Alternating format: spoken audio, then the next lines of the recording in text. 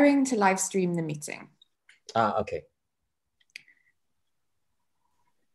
All right. Okay.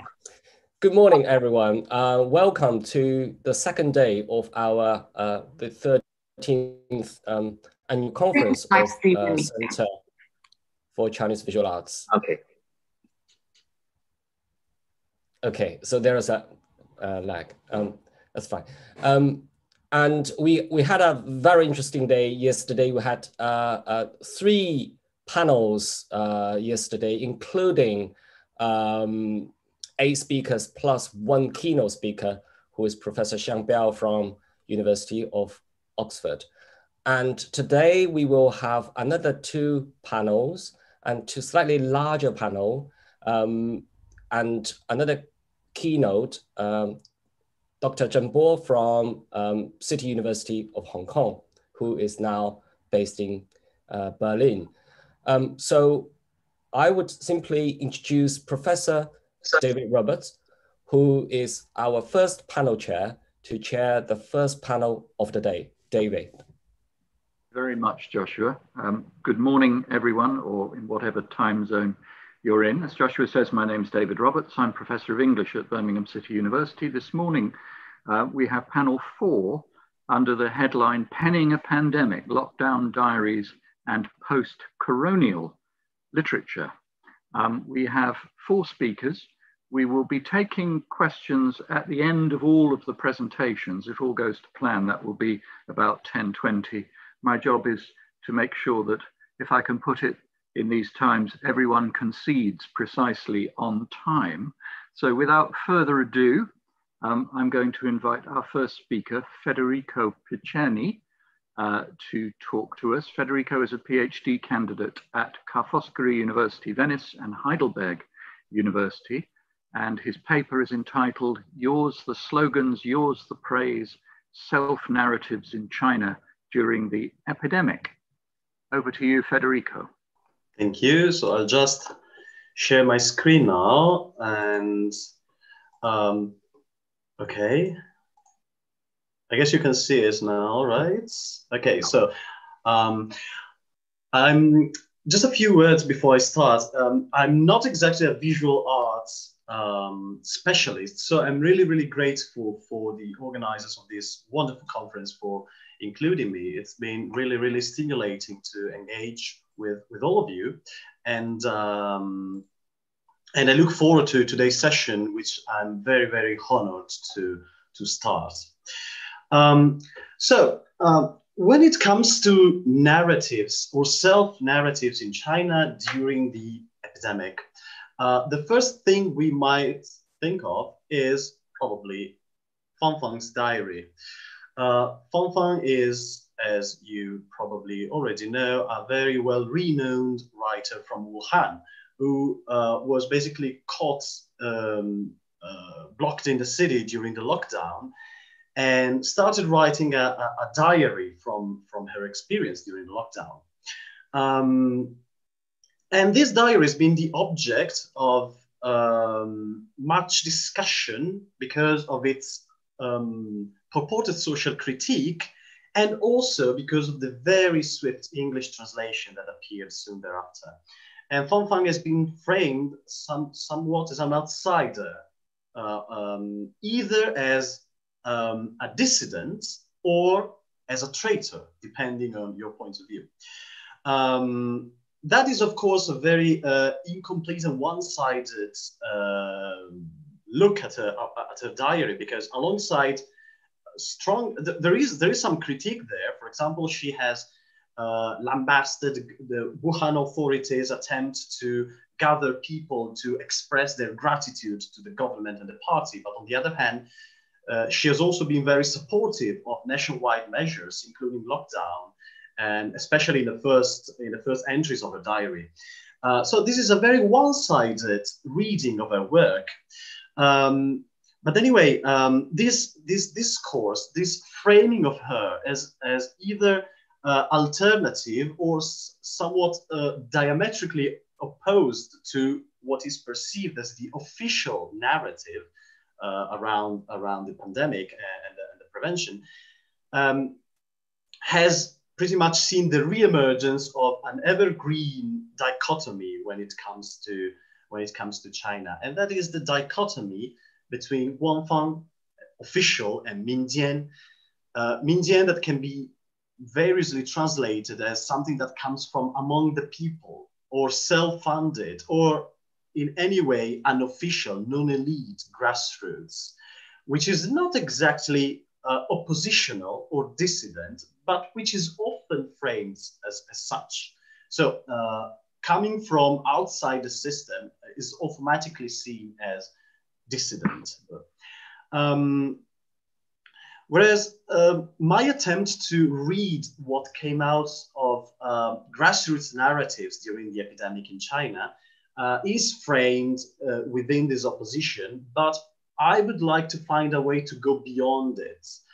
Um, and for example, I suggest that we may think of official narrative, not versus, but with subjective singularities coming from different walks of life and different contexts.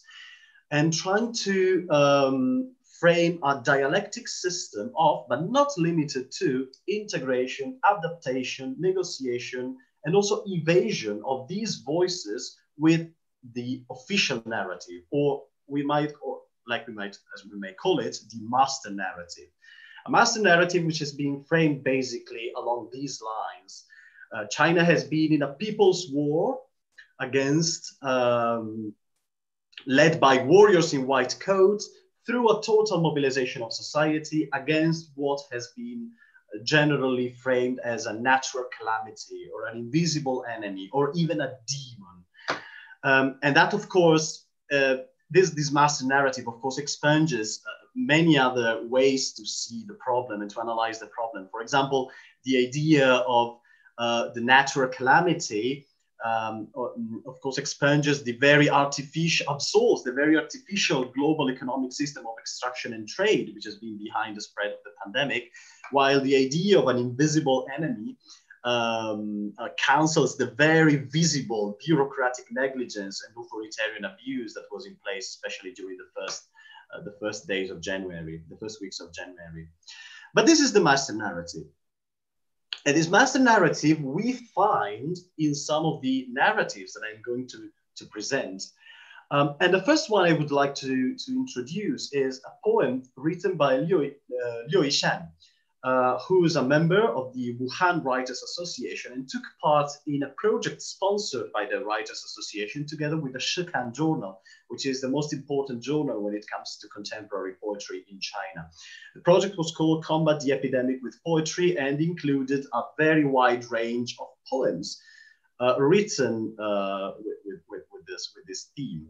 And this was uh, actually, this project was carried out while Wuhan was still in a lockdown which gives us gives us some uh, inspiring suggestions on how um, um, digital means actually uh, helped framing these discourses and making them available while the, the not only the pandemic but even the lockdown itself was still was still in force. Um, so um, I, I have quoted just a small part of this poem, but I think it's it's very indicative. Liu Yishan writes, when the black-hooded novel coronavirus hits us with a surprise attack, poets, what should we do? What can we do? To white-coat warriors fighting night and day in the epicenter, dauntless, braving danger and sacrifice, we offer a ode of profound longing and our heartfelt salute and tribute. What else can we do? All we can do more is wearing masks, drink a lot, wash our hands, stay home, don't go out. We and China are together. So of course I should apologize for my sloppy English translation. Not, not, no, neither English or Chinese are my mother tongue. So it might be, it, it probably needs some improvements. But anyway, it gives the idea.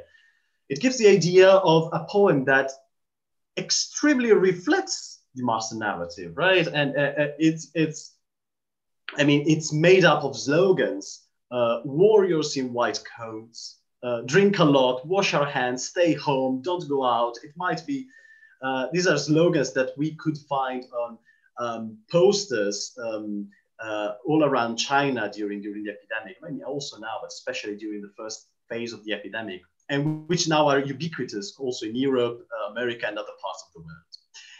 Um, so this is a poem that we might consider extremely official, also for the images it employs. But if we move to another example of, uh, of this, of poems coming from this project, uh, the, the picture changes a lot. Uh, so um, this is also another very long poem, Wuhan is Silent Tonight by Dian Nan. And I'm also quoting just a small part of it. Silent is Wuhan tonight, silent the eastern lake and the Changjiang, silent the yellow crane tower and Fentai, silent the streets, the trees, and the lights. The price of this silence pains me. But if I insisted on asking who made it possible that the virus propagates, will then bats rush forth one after another, descending from dark corners to list our sins to us? All the, all the cures, one after another, are taking place in silence. And I almost seem to feel the beating heart of this city in Grand Hankou and Old Wuchang, in Taidian and, and at Yinglu ports, like innumerable hearts beating in unison, mute and powerful. Uh, I, find, I find this poem very compelling and interesting because it also comes from a very official, very Guanfang context. It's part of the project that I introduced before, but it's very, very different from the poem we just we just we just saw. Um, so I find it uh, aesthetically very interesting uh, that the poem, the poet used this operation, this operation of first zooming in and then zooming out of the beating heart of the city, and then he uses, he finds in this silence, in the silence of the lockdown, basically, a space for poetic, poetic contemplation and introspection. Uh, and, that, and that is interesting because um, it's perhaps something you wouldn't expect from a very official project if you think that everything that comes from official projects is just slogans, like, like the previous poem we saw. Whereas here, um, we still find uh, a, a, um, a, reasoning which is less bombastic, much less absolutist, much, much less uses much less slogans, um, and on the contrary, makes full use of, uh, of the possibilities that a poetic space might offer. Again, with the silence, with this zooming in and zooming out operation, but especially with the silence, which is aesthetically very, very interesting here. Um, if we move if we move on and we leave the project for a moment, um, another example, this time very very different, is from um, another um, an entirely different context. So uh, this is not this poem is not part of any uh, officially sponsored project, but as we know, now in China, uh, China has a, a, very burgeoning, very thriving online literature. Um, poets and writers uh, publish their, their writings online. So even if they are outside official channels, they still have a way to make themselves known. Um, and this is one of these, this, and this is the case. This is a case in this direction. So this poem, Please Don't Disturb, was, pub, uh, was written by uh, Long Xiaoling, who was a nurse in one of the makeshift hospitals that were set up in Wuhan to, to uh, deal with the, with the epidemic. Uh, and this also went viral in, in, in, a very short span of time. And it's, uh, it's easily understandable why. The reason is easily understandable. Uh, this is also, I'm also quoting this poem just in part. And she says, please allow me to take off my protective clothes and mask, to remove the flesh of my body from its armor. Let me trust my own health. Let me breathe undisturbed. Ah, the slogans are yours, the praise is yours, the propaganda, the modern workers, all yours. I am merely performing my duties, acting on a healer's conscience. often there's no choice but to go to battle bare chested. I didn't come to Wuhan to admire the cherry blossoms, and I didn't come for the scenery, the reception of flattery. I just want to return home safe when the epidemic ends, even if all that remains are my bones. Um, I would like to especially point out this idea of going to battle bare chested. Because on the one hand, we have the idea of the war, which is pretty much part of the master narrative, of the official narrative. But on the other hand, this, this is precisely a warrior in white coat, right? Because she's a nurse, but she wants to go to battle bare chested.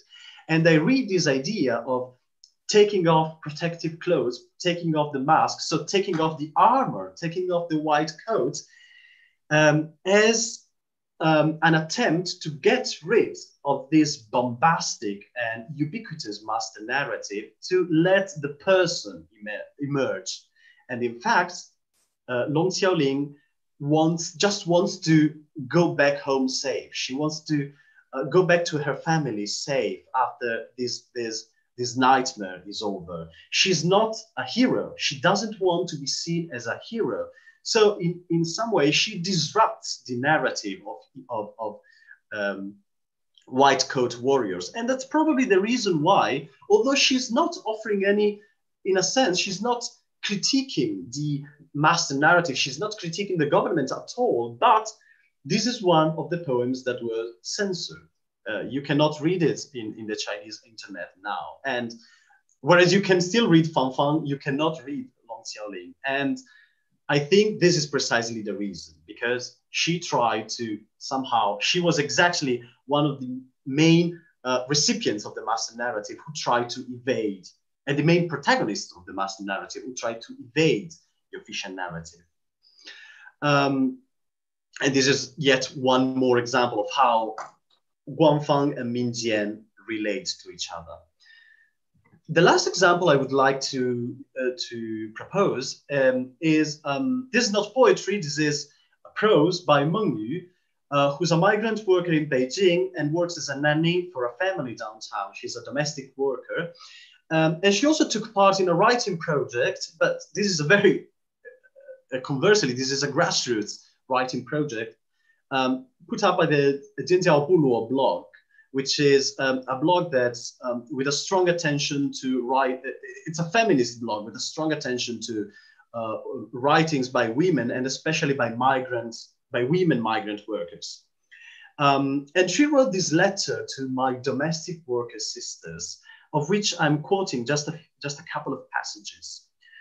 I won't hide that sometimes I'd even want to shout, I don't fear contagion, but mistreatment by my husband. I'm serious. My family's conservatism suffocates me, and it has been the restrictions forced upon us by this epidemic that have allowed me to see even more clearly the traumas caused to me by my family. I have had enough of this life.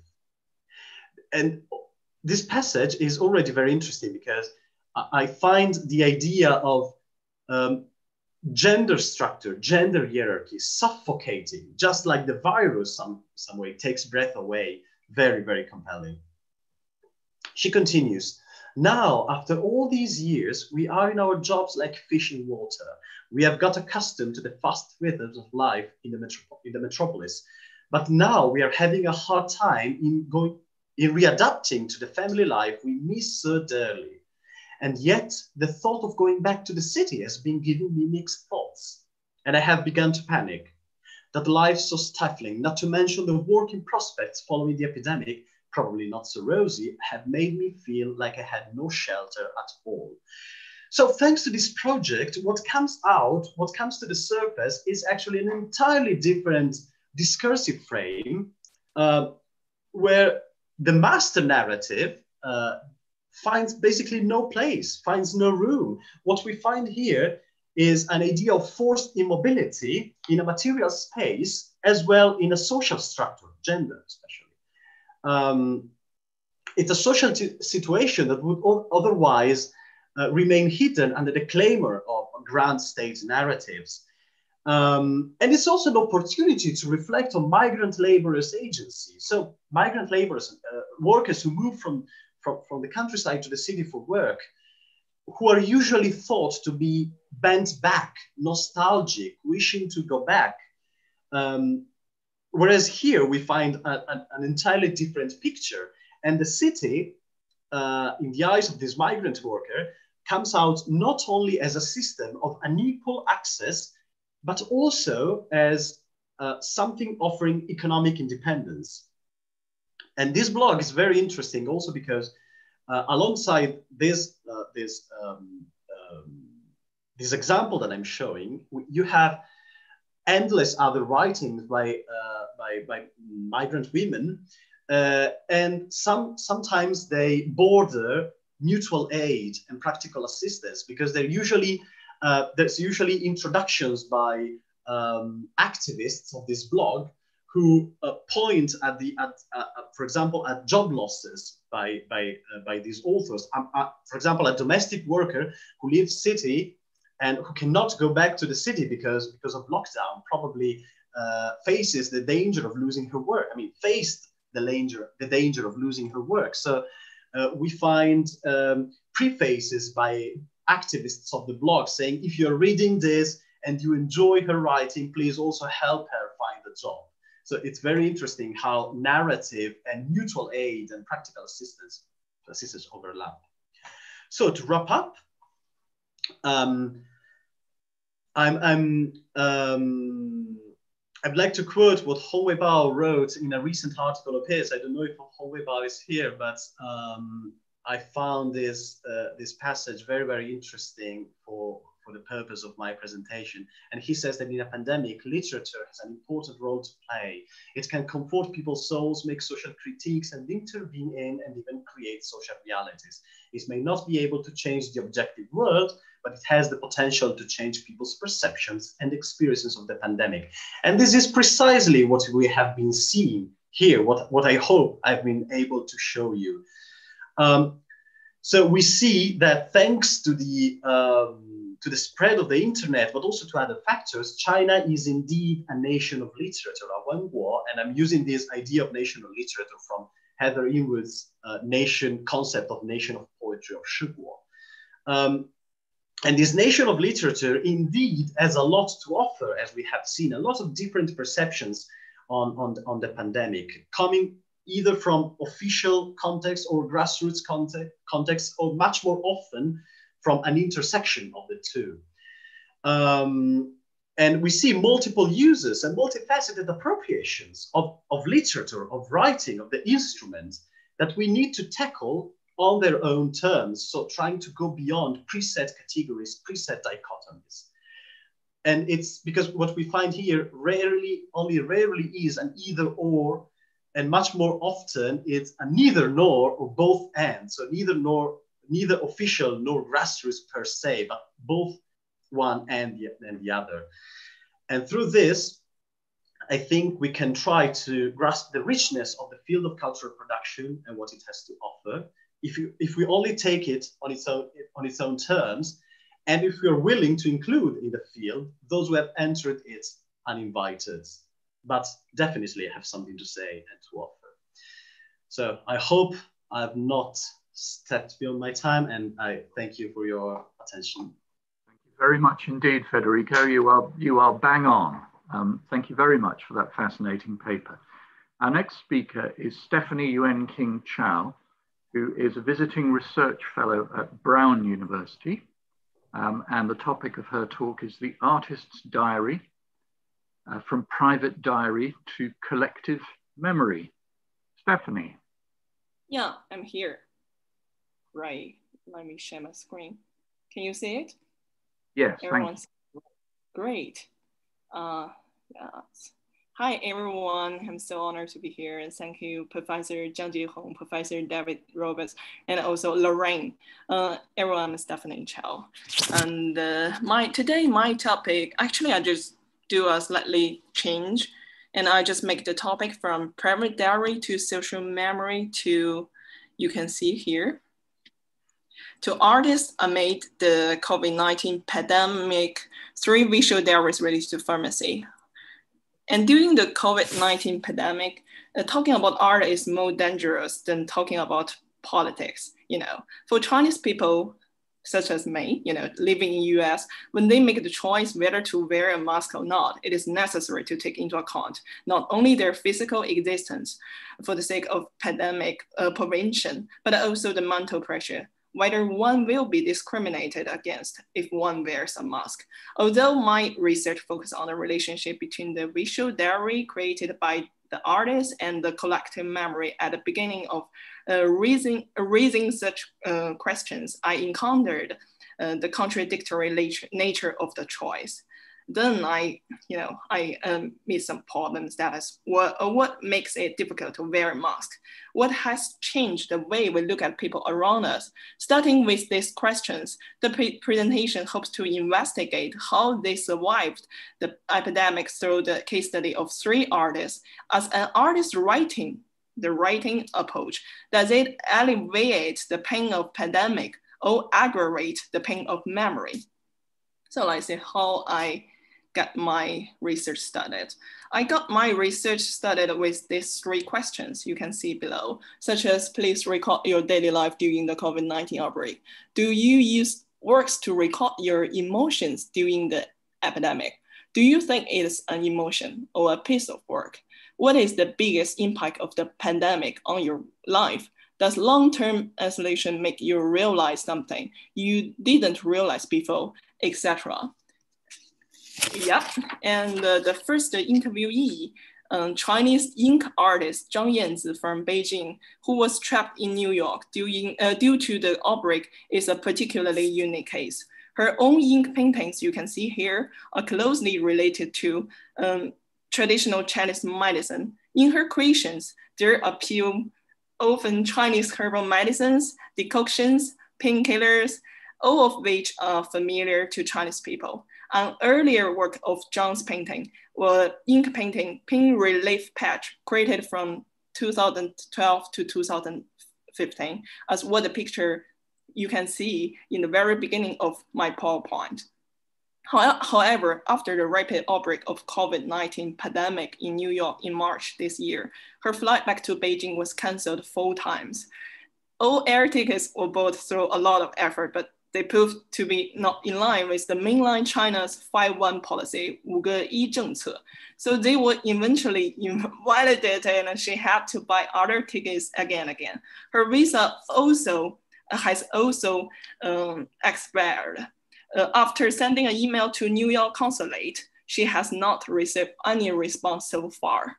She was in constant anxiety at the beginning of the outbreak. She said, she told me, after the outbreak of the New York pandemic, hospitals were in short, in, in short supply of masks and masks were not available in all New York. I thought maybe that maybe there was a protracted battle. So I bought a sewing machine and I planned to do it myself. From January 23rd to May 4th, I, I made a total of 111 masks. At first, Zhang Yanzi as artist made this mask completely for practical purpose, practical use. It took a long time and a lot of work. And it turned out to be that this mask became her work, artwork. I wonder if this mask in her visual diary can be counted as her new pain relief patch. And let's see some masks you can see from the PowerPoint. At the same time, so her, so her work, Mask Diary, she also saw anxiety uh, about identity for Chinese community. She told me, during the pandemic, Chinese in New York are being insulted for wearing mask. To wear a mask or not uh, not has become a troubling issue among the Chinese American community. Masks have suddenly become a very complex symbol. She responded to this problem by trying not to go out as much as possible. Her sensitivity as an artist is like a just double-edged sword, allowing her to perceive through the eyes of surrounding New Yorkers her, her identity as a Chinese who doesn't speak much English. Uh, as the pandemic spread, it seems that not only the virus is going, but also the distance between people around and yourself. In answering several of my seven questions, she talked about her real feelings. She said, There is no doubt that the pandemic has changed our way of life and also put some original hidden social problems into the spotlight. For me, when I wear a huge black mask and the sunglasses, when I go out to the supermarket, masks are no longer being used to prevent the virus, the safety I need is not only a physical level, but also on the mental and, and identification level. I mean, you can see from this work, when I, you know, when I started to do this research myself, actually, I was, you know, self-quarantined in Providence, Rhode Island, the US. It was quite a hard time.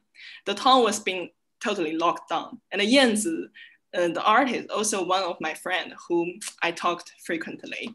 And you can see she recorded our talks um, in the Mask Diary. And her feelings towards the movie, I recommend that you can see 初学者,周婉君推荐初学者, Stephanie recommend the beginner, the, the film.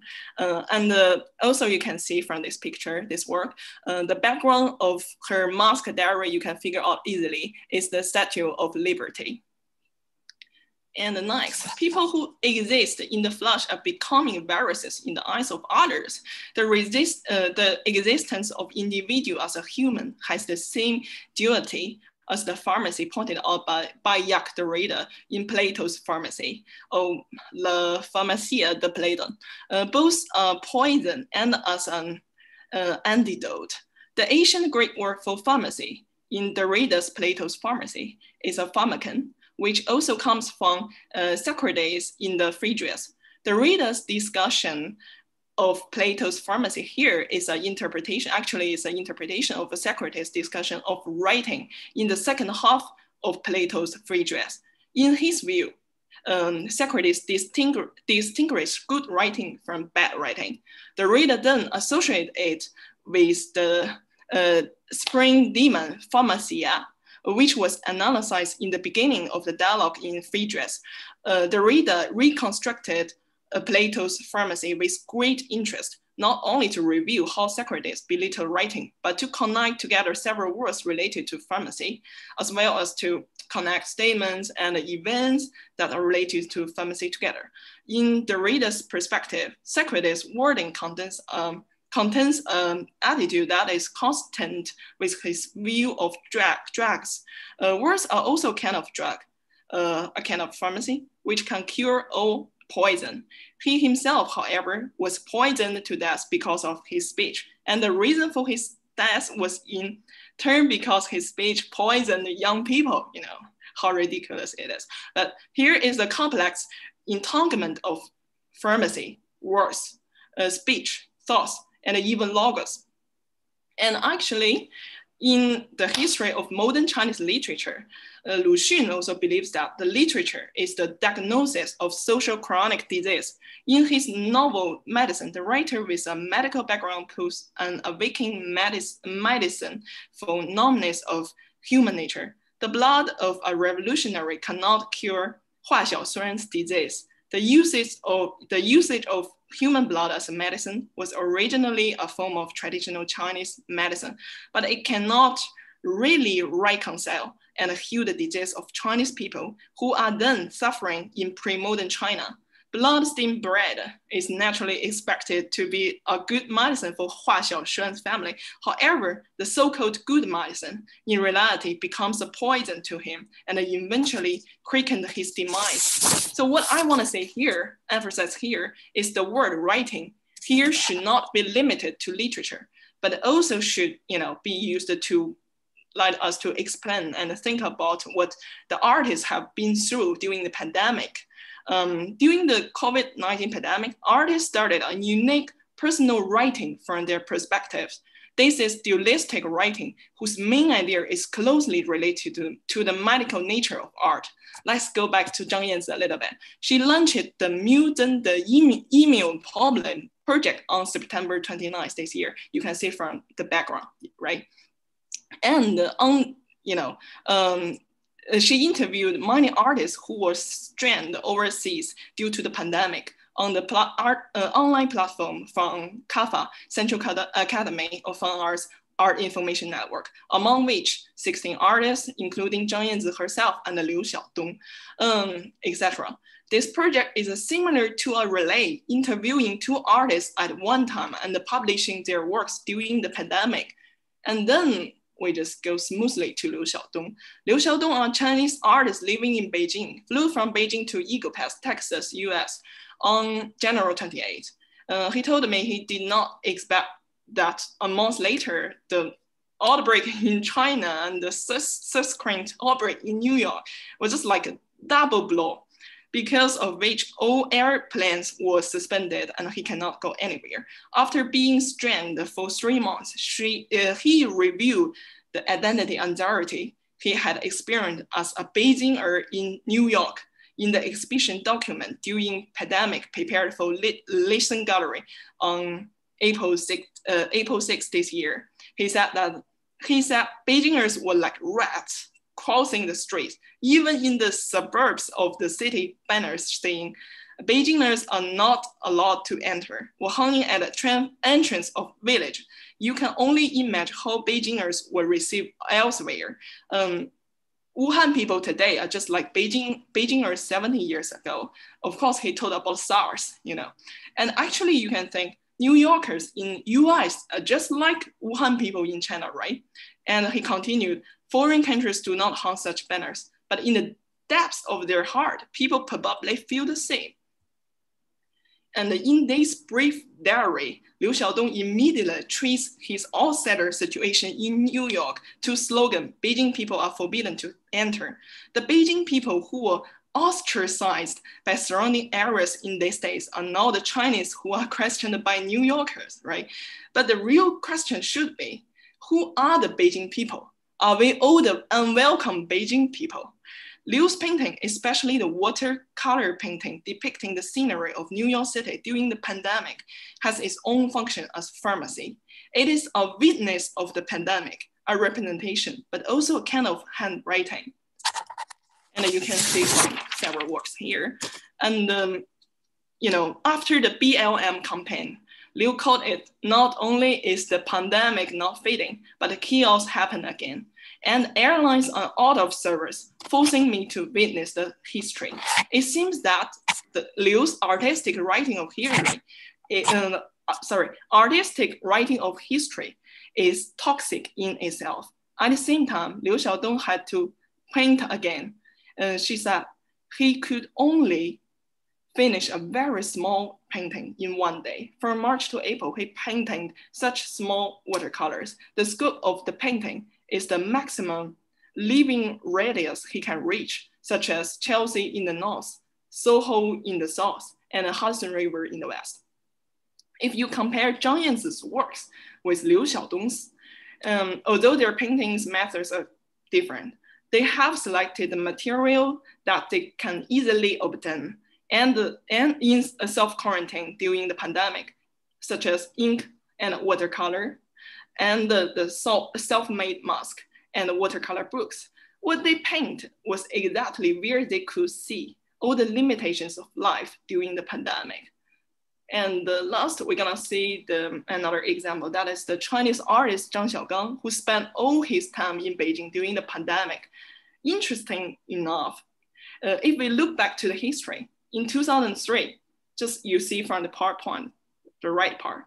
Uh, in 2003, on the eve of Zhang Xiaogang's solo exhibition, Amnesia and Memory at Galerie de France, SARS broke out in China. He wrote a letter to the French gallerist Katerina of Galerie de France on May the 16th. In an interview with the artist Zhang Xiaogang recently in his studio, uh, I recall this passage, the letter he wrote to the gallerist. Um, written by the artist himself. The artist who has always been known for dealing with the theme of memory also tell me, admit that the COVID-19 pandemic is very different from SARS, which has a huge impact on Chinese people. He said, this time all political violence and power are projected onto this, and it's very sensitive. Any change will cause a chain reaction. All this happened in the first two months.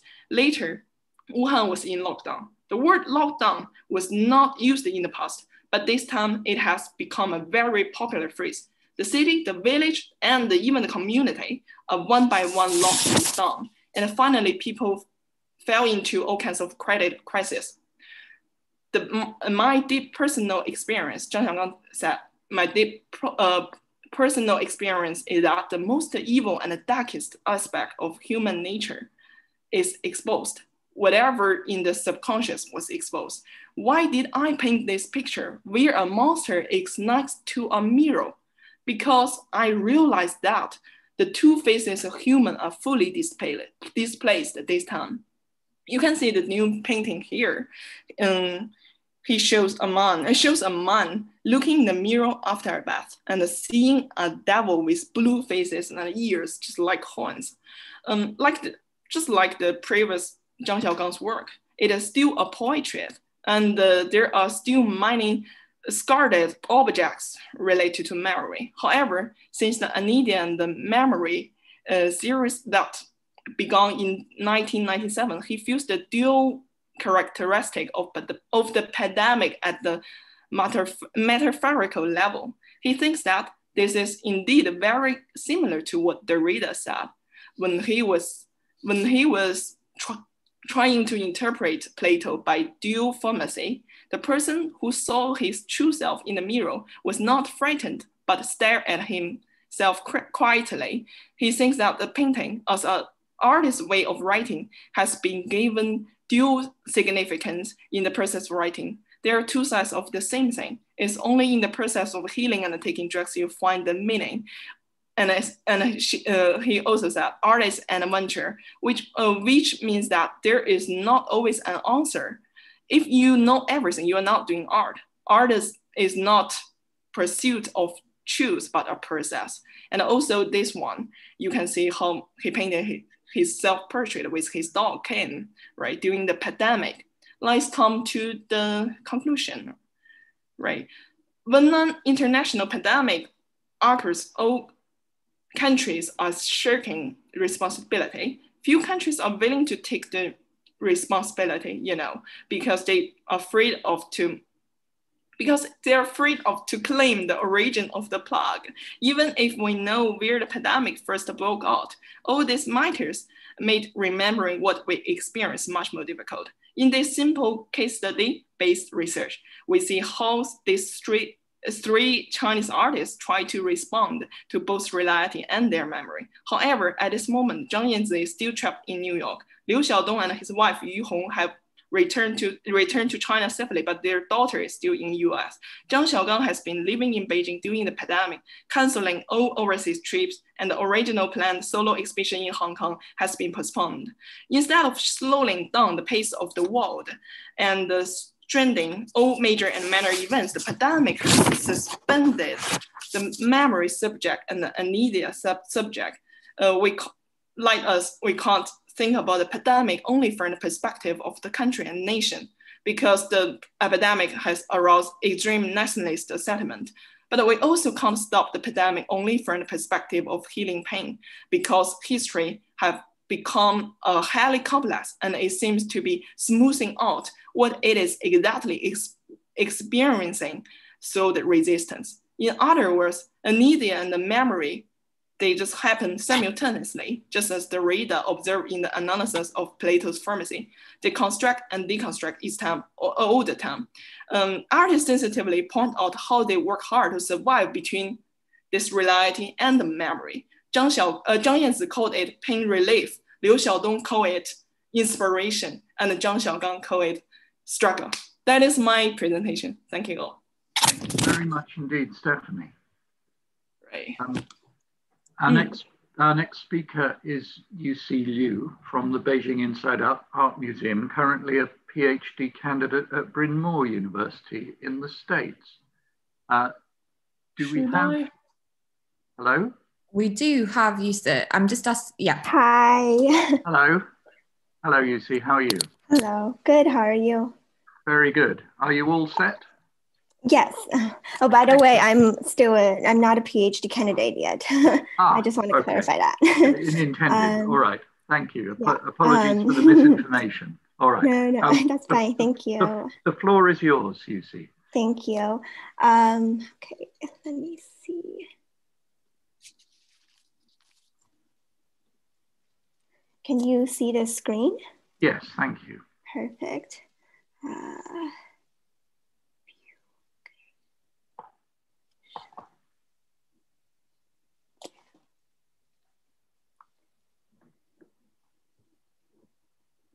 Okay.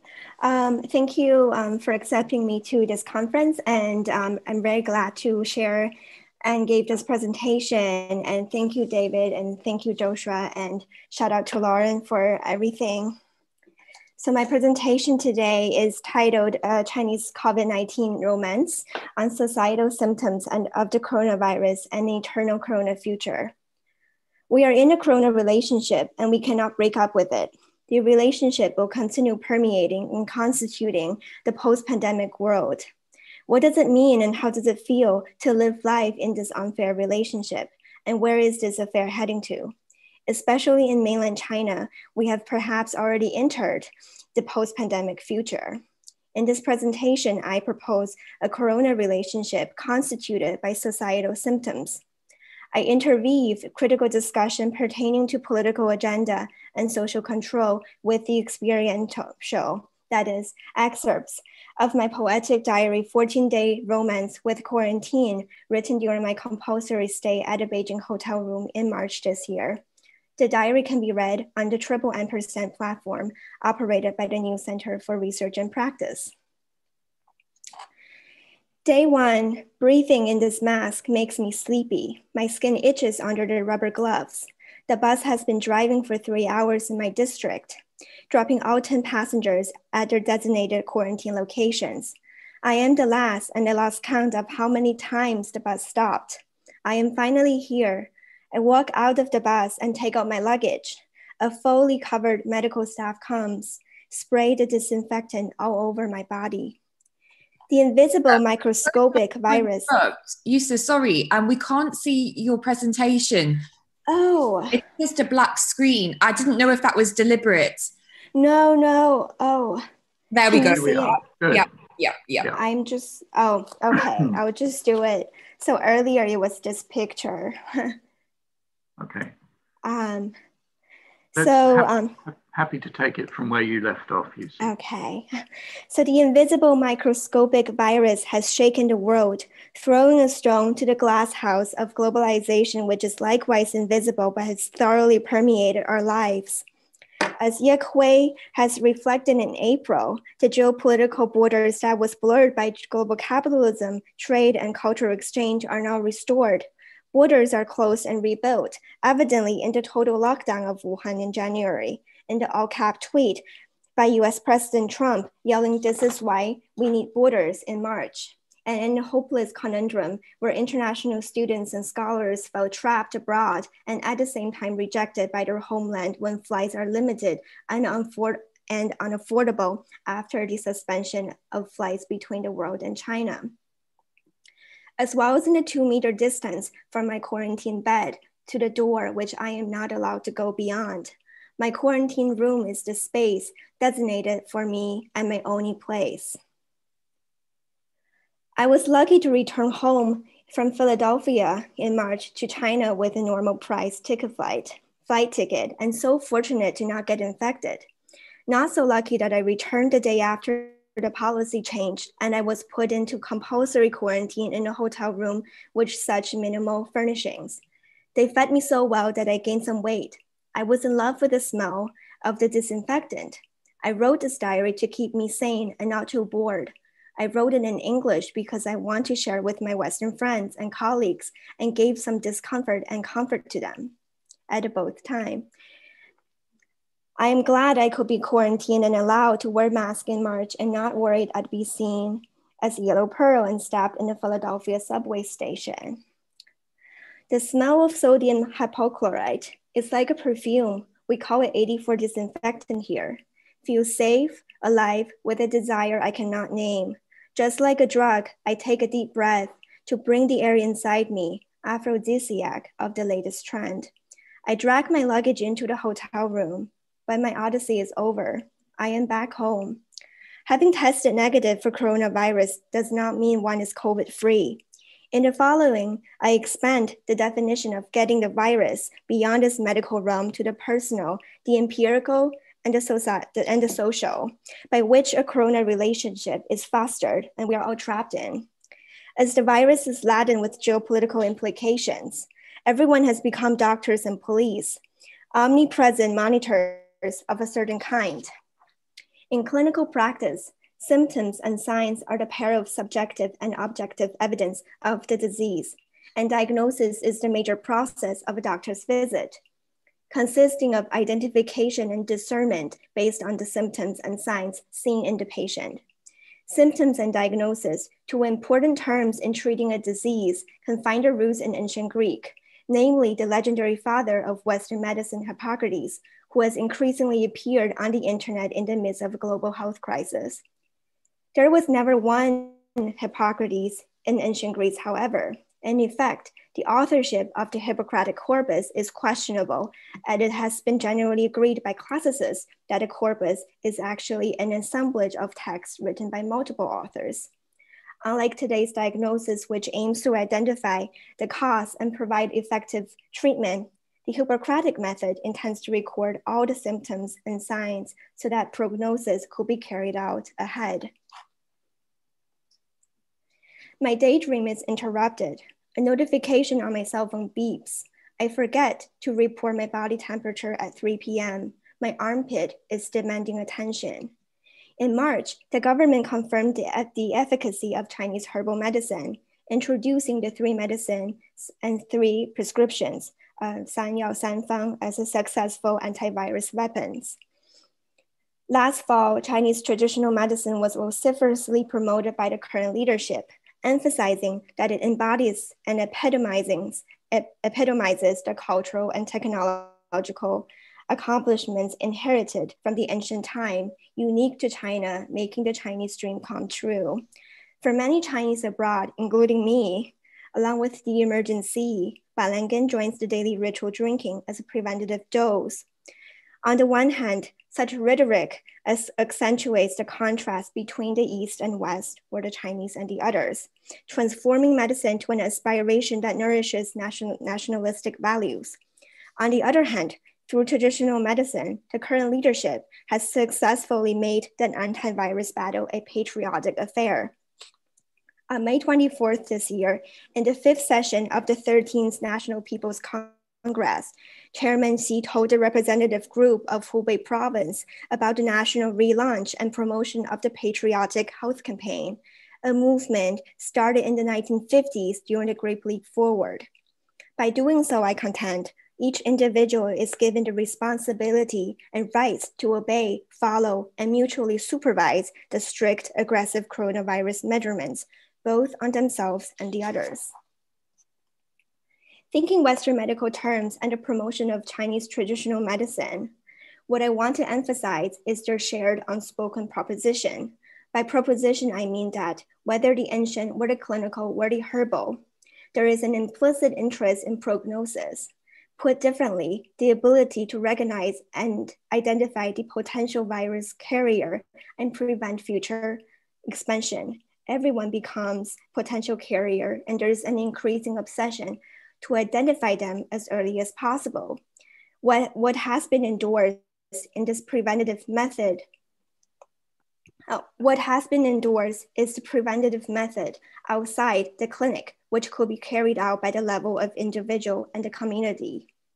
Every time when one presents their health QR code in green, when supermarkets points the thermometer to its customer's head, when one finds themselves seized in horror to see someone maskless nearby, such lived experience makes up a corona relationship.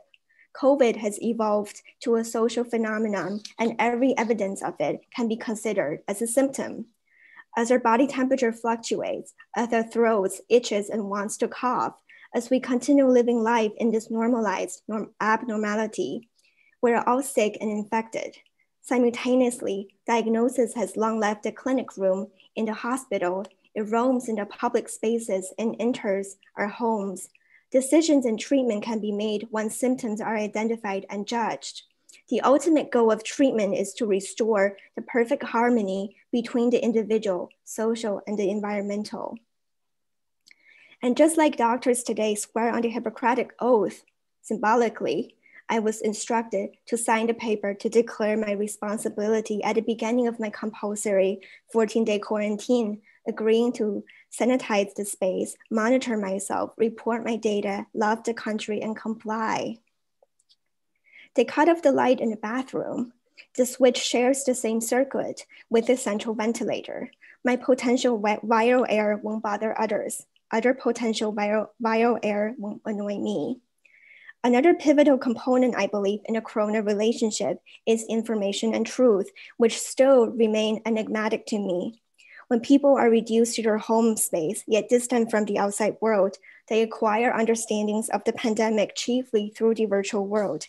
Everyone maneuvers through authoritative reports and informal posts and stories, all under the backdrop of state censorship. There exists extensive discussion over the ways people have tried to capture and share the stories of the whistleblower blower, Dr. Li Wenliang on the social media platform this spring, so I shall not repeat. In the ever-evolving situation, individuals must harvest their own assemblage of truth in understanding the world around the virus, their own preventative practice, and even cures. Again, in this process, everyone has taken up the role of doctors, making their own identification, judgment, and diagnosis. We all join the collective authorship of the Corona Corpus. Again, this backdrop, the patriotic toned antivirus campaign is at its best work.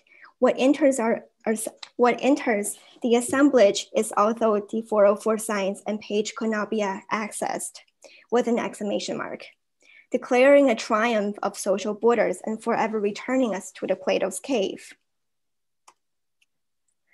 Moving on, elements from my own quarantine um, diaries such as sanitizers, thermometers, and teacups have become alternative mundane systems and devices both in informing myself of the pandemic and in, and in propagating a corona future. Through their material, visual effect, and behavior quality, these items makes up the after effects. Oh. They gave me a bottle of 84 disinfectant. I wiped all the surfaces and sprayed the bathroom.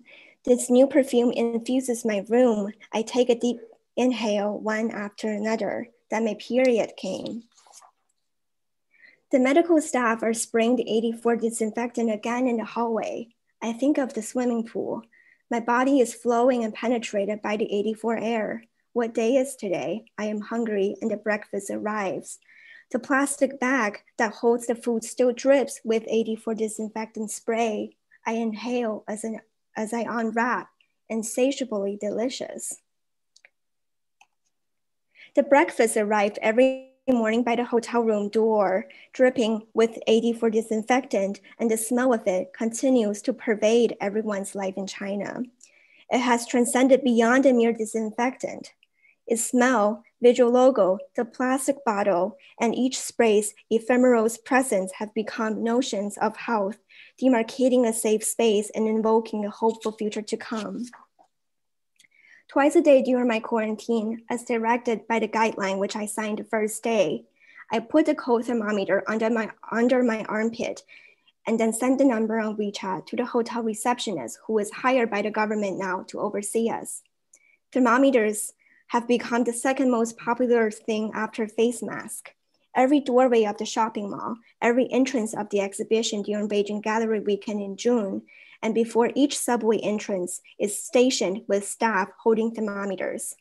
It does not matter what level of risk the city is at, or if there has been no new positive case for a while, or the thermometer is simply broken. What is important is that this little device or the people with it can decide our entrance. They control our movements. What is also important is that we find ourselves no longer frown when we become naked with our temperature displayed on big screens. We ourselves are in fact normalizing this abnormality. Every office and every household now has a thermometer. Like the sound of coughing, when the temperature goes beyond 30 37.3, the atmosphere will immediately become tensed up, and we find ourselves quietly being socially diagnosed by people around. They gave me two dozen hangers, an extra towel, which I have no place to hang, a pair of Mickey Mouse slippers, which I love and wear every day, a bright lamp for bathroom where there's no outlet, so much disinfectant gel and wipes. There are three things I cannot take away the thermometer, the giant bottle of 84 disinfectant, and two white cups whose body curvature is smooth and streamlined, topped with a lid out of style. This style, this type of cup is called the Victory Cup. It was designed for Mao in 1948, in 1958 for the party's official. But then it got popularized, appeared in all governmental and diplomatic meetings, and then in offices, hotel rooms, and in everyone's home. My grandparents had a pair. The bottle and the smell of the 84 disinfectant, the way we have to stop and get our temperature tested, sanitizers and thermometers become devices in this multisensorial fluid assemblage of corona relationship. Public health guidelines and measurements are paving a path for corona future. On a more personal level, when I see the victory cup, which I used during my quarantine, my Oni cups, appear on the state broadcaster every night at 7 p.m., my memory of the quarantine is activated even the concept of the hotel has evolved into a mnemonic device forbidding me from forgetting and recovery. Memory here, thus, is retrieved, survives, and carried over for the future. International discourse, such as we are not going back to normal, and endless speculations of a post pandemic world have flooded long since the pandemic outbreak. The world has changed indeed, symptoms are no longer limited to the clinical realm. Diagnose, diagnosis or prognosis of the disease has become a social responsibility and, and everyone is authoring the corona corpus through Chinese patriotic health movements, as well as the elements which I have taken from my own quarantine diary, such as sanitizers and thermometers, I exemplified subtle ways of how this unprecedented, event reverberates the new normality and penetrates our daily life. The romance has just started. Welcome to an eternal corona future.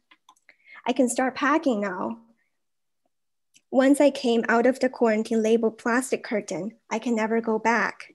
So I make sure I don't leave things behind. I come out and I go to the reception table, pay the quarantine hotel fee, and get my certification. The certificate will allow me to enter my community neighborhood. The hotel staff is kind and helps me carry my luggage to mom's car downstairs. My romance ends. Oh fuck, I left a box of mandarins I treasured in the room by the windows. Enjoy the sweet, juicy citrus, baby. Thank you. Thank you very much indeed for that fascinating presentation. Um, sorry we had a little glitch at the outset, but thank you so much. I'm now delighted to introduce Professor Claire Chambers.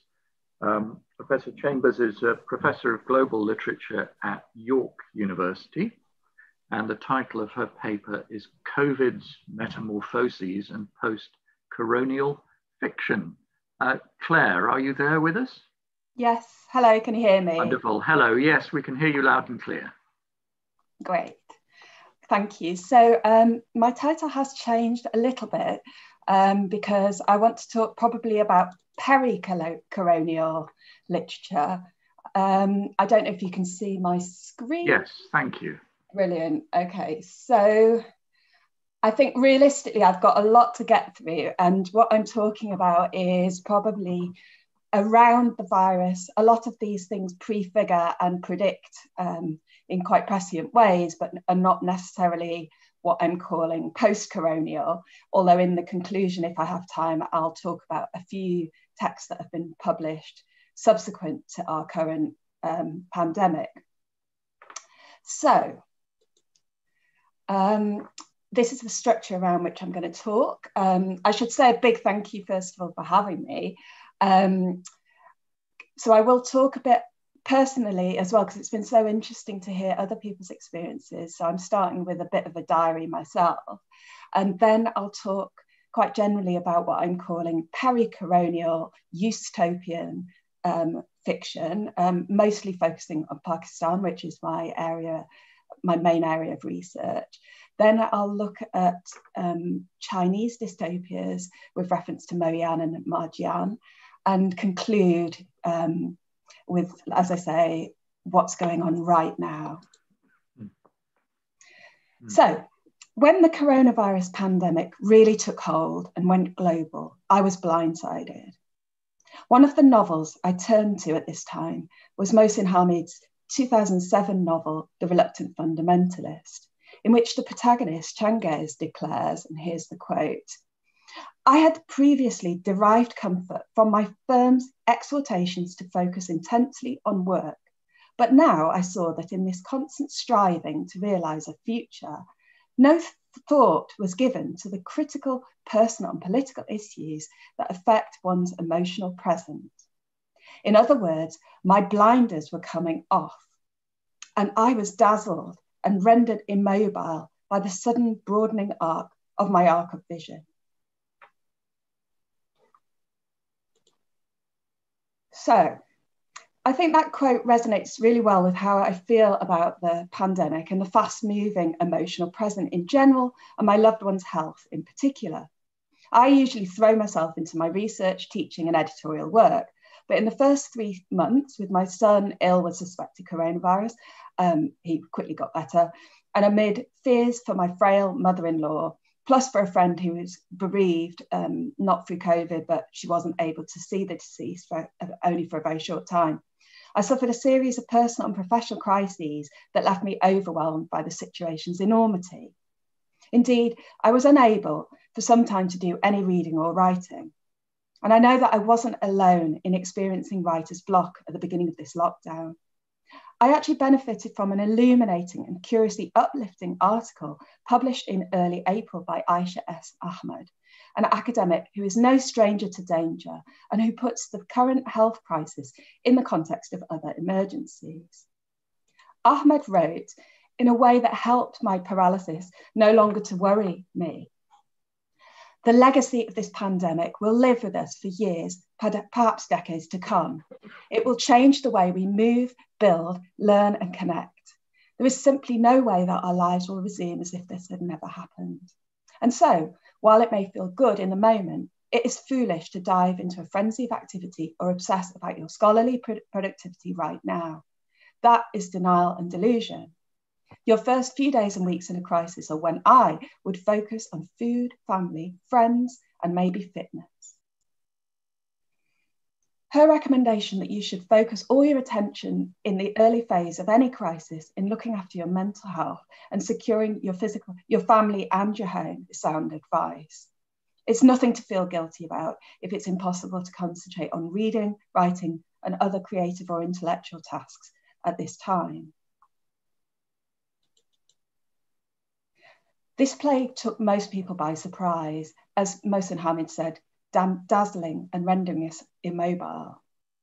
To be sure, sober warnings came from China and other countries in East Asia. However, as Ipek Demir shows, these harbingers were underestimated by a complacent and ethnocentric West, whose hubris was fueled by what she calls epidemiological neoliberalism. The current dystopian situation feels like Kali Yuga um, the Hindu idea of the last phase before the end of the world, or at least the beginning of the world's end. You have to remind yourself that this is real and no fever dream. Things should slowly return to some semblance of normality, especially given the news about a possible vaccine today. But to adapt the title of Sabyn Javeri's story and that of its parent anthology, edited by Pakistan, um, Pakistani critic Muneeza Shamsie, um, it collected together post 9 11 Pakistani women's writing, there is no doubting that the world has changed. COVID's metamorphoses are entrenching inequalities in ways that will be difficult to reverse. Far from being a leveller, the crisis is widening already vast social chasms. Take the gender pay gap. The pandemic is likely to set female academics back by decades and calcify gender inequalities in higher education because of the emotional labour and caring burdens women tend to shoulder. The virus itself and consequent lockdowns lay bare the fault lines of social injustice that structure our world. Writing The Guardian in April, Stefan Collini shone a spotlight on universities' ruthless and pervasive use of insecure contracts. Holders of these contracts are mostly women, who are cheaper and more expendable than their male colleagues. Collini calls this group the academic precariat. Amid the scramble to move undergraduate teaching online, the struggle for a just dispensation for this precariat has been undermined now more than ever before. As student numbers fall, zero hour contract holders are forced to do even more work for less or, or lost their jobs altogether. The Twitter account at Ask Deans, which satirises HE middle and upper management, grimly su- summarized this situation in the directive I know you are on a nine month contract, but we still need online only, in person only, and hybrid course syllabi for your new course by June the 1st. Put differently, universities are cynically using this crisis to streamline the already austerity pummeled higher education sector and to make swinging ex- expenditure cuts. In Precarious Life, The Powers of Mourning and Violence, 2004, Judith Butler gives readers a detailed understanding of precariat um, and, the, and precarity. Precarity is commonly and rightly associated with social class, being widely interpreted as vulnerability, another word of which Butler is fond. She characterized precarity and, in, and planned vulnerability um, as being embodied, alluding to the precarity of bodies our rupturable skin and easily failing organs in ways that find new echoes in the time of coronavirus. She further emphasizes that human sociability connects us to other bodies within relational networks, demonstrating the interdependence of all humans and the fallacy of individualism. Butler writes, You make me, and your loss undoes me. It is not as if an I exists independently over here and sim- then simply loses a you over there, especially if the attachment to you is part of what composes who I am. Who am I without you?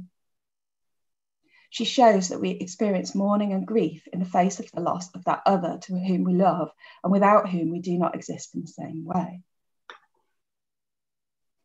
The term precariat is popular in academia, especially for discussing the planned vulnerability of those whom Amitava Kumar, writing about the US context in World Bank literature, calls adjunct faculty. These are the early career lecturers highlighted by Collini, who work from contract to contract with no sick pay, holiday wage, or future assurance. Butler's concept of precarity might also be extended to encompass our present corona crisis, given the British government's identification of extremely vulnerable people for shielding as well as the unprecedented threat the virus poses to existing and future jobs or careers. Anyone experiencing severe anxieties around sudden unemployment or potential homelessness might be seen as part of the academic precariat. It is also important to note that when the virus strikes, it is people from impoverished and minoritized areas the world over who are dying at higher rates than those, those able to shelter at home in more privileged places.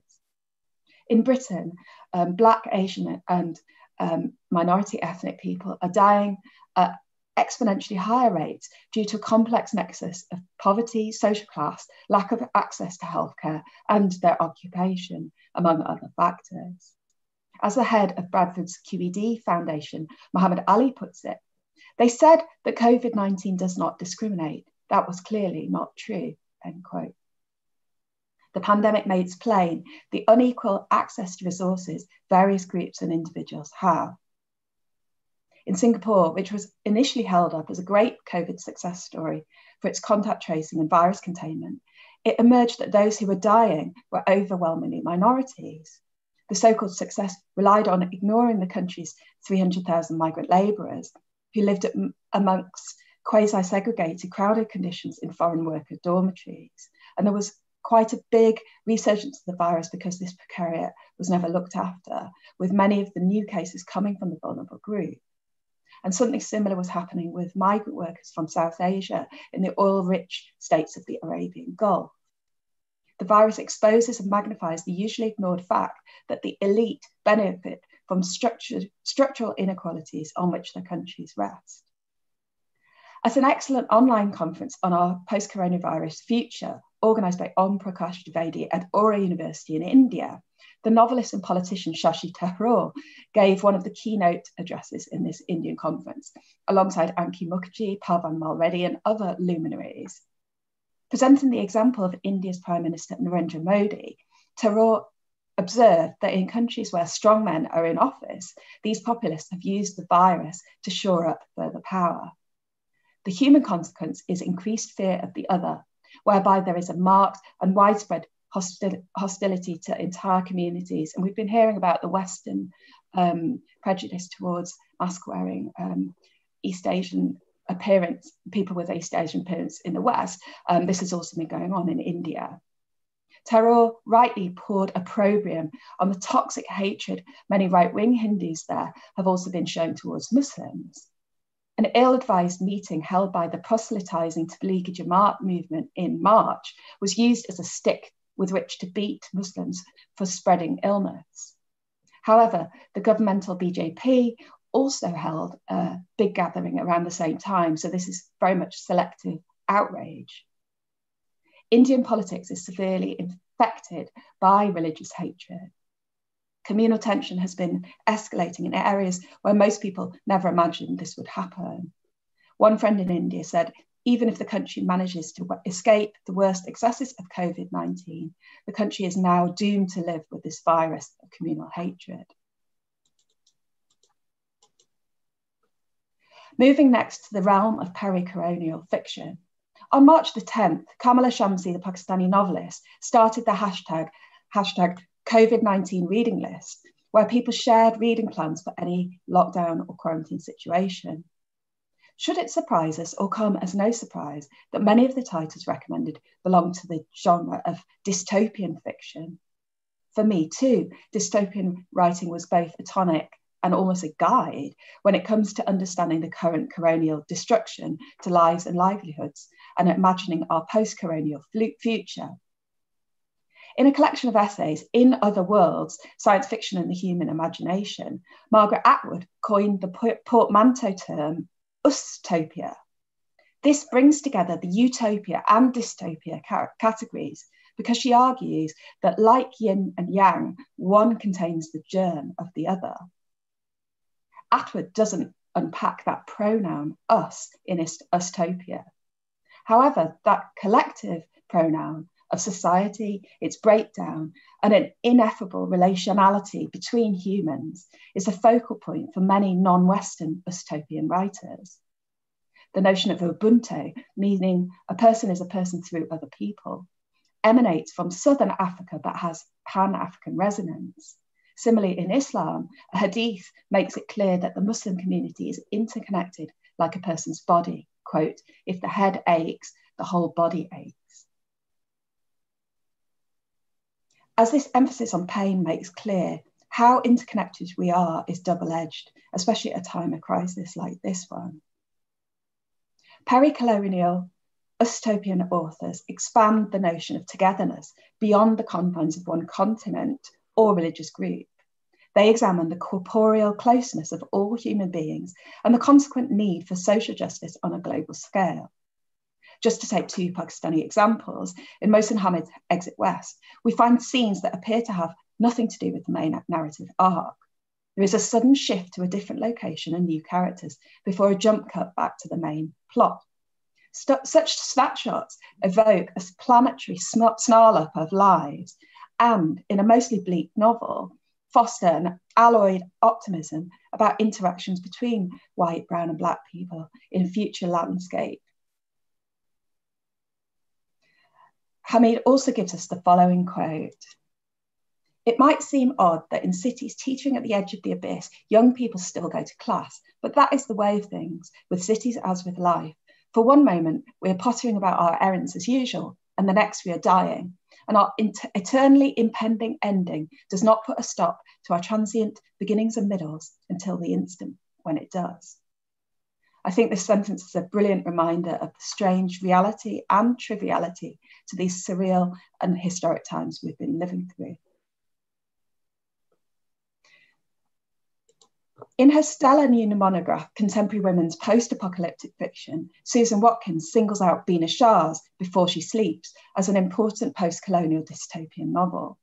Watkins summarizes the text thus quote, Set in a repressive southwestern Asian city, a nuclear war has caused a genetic mutation that causes a deadly type of cervical cancer to kill millions of women. End quote.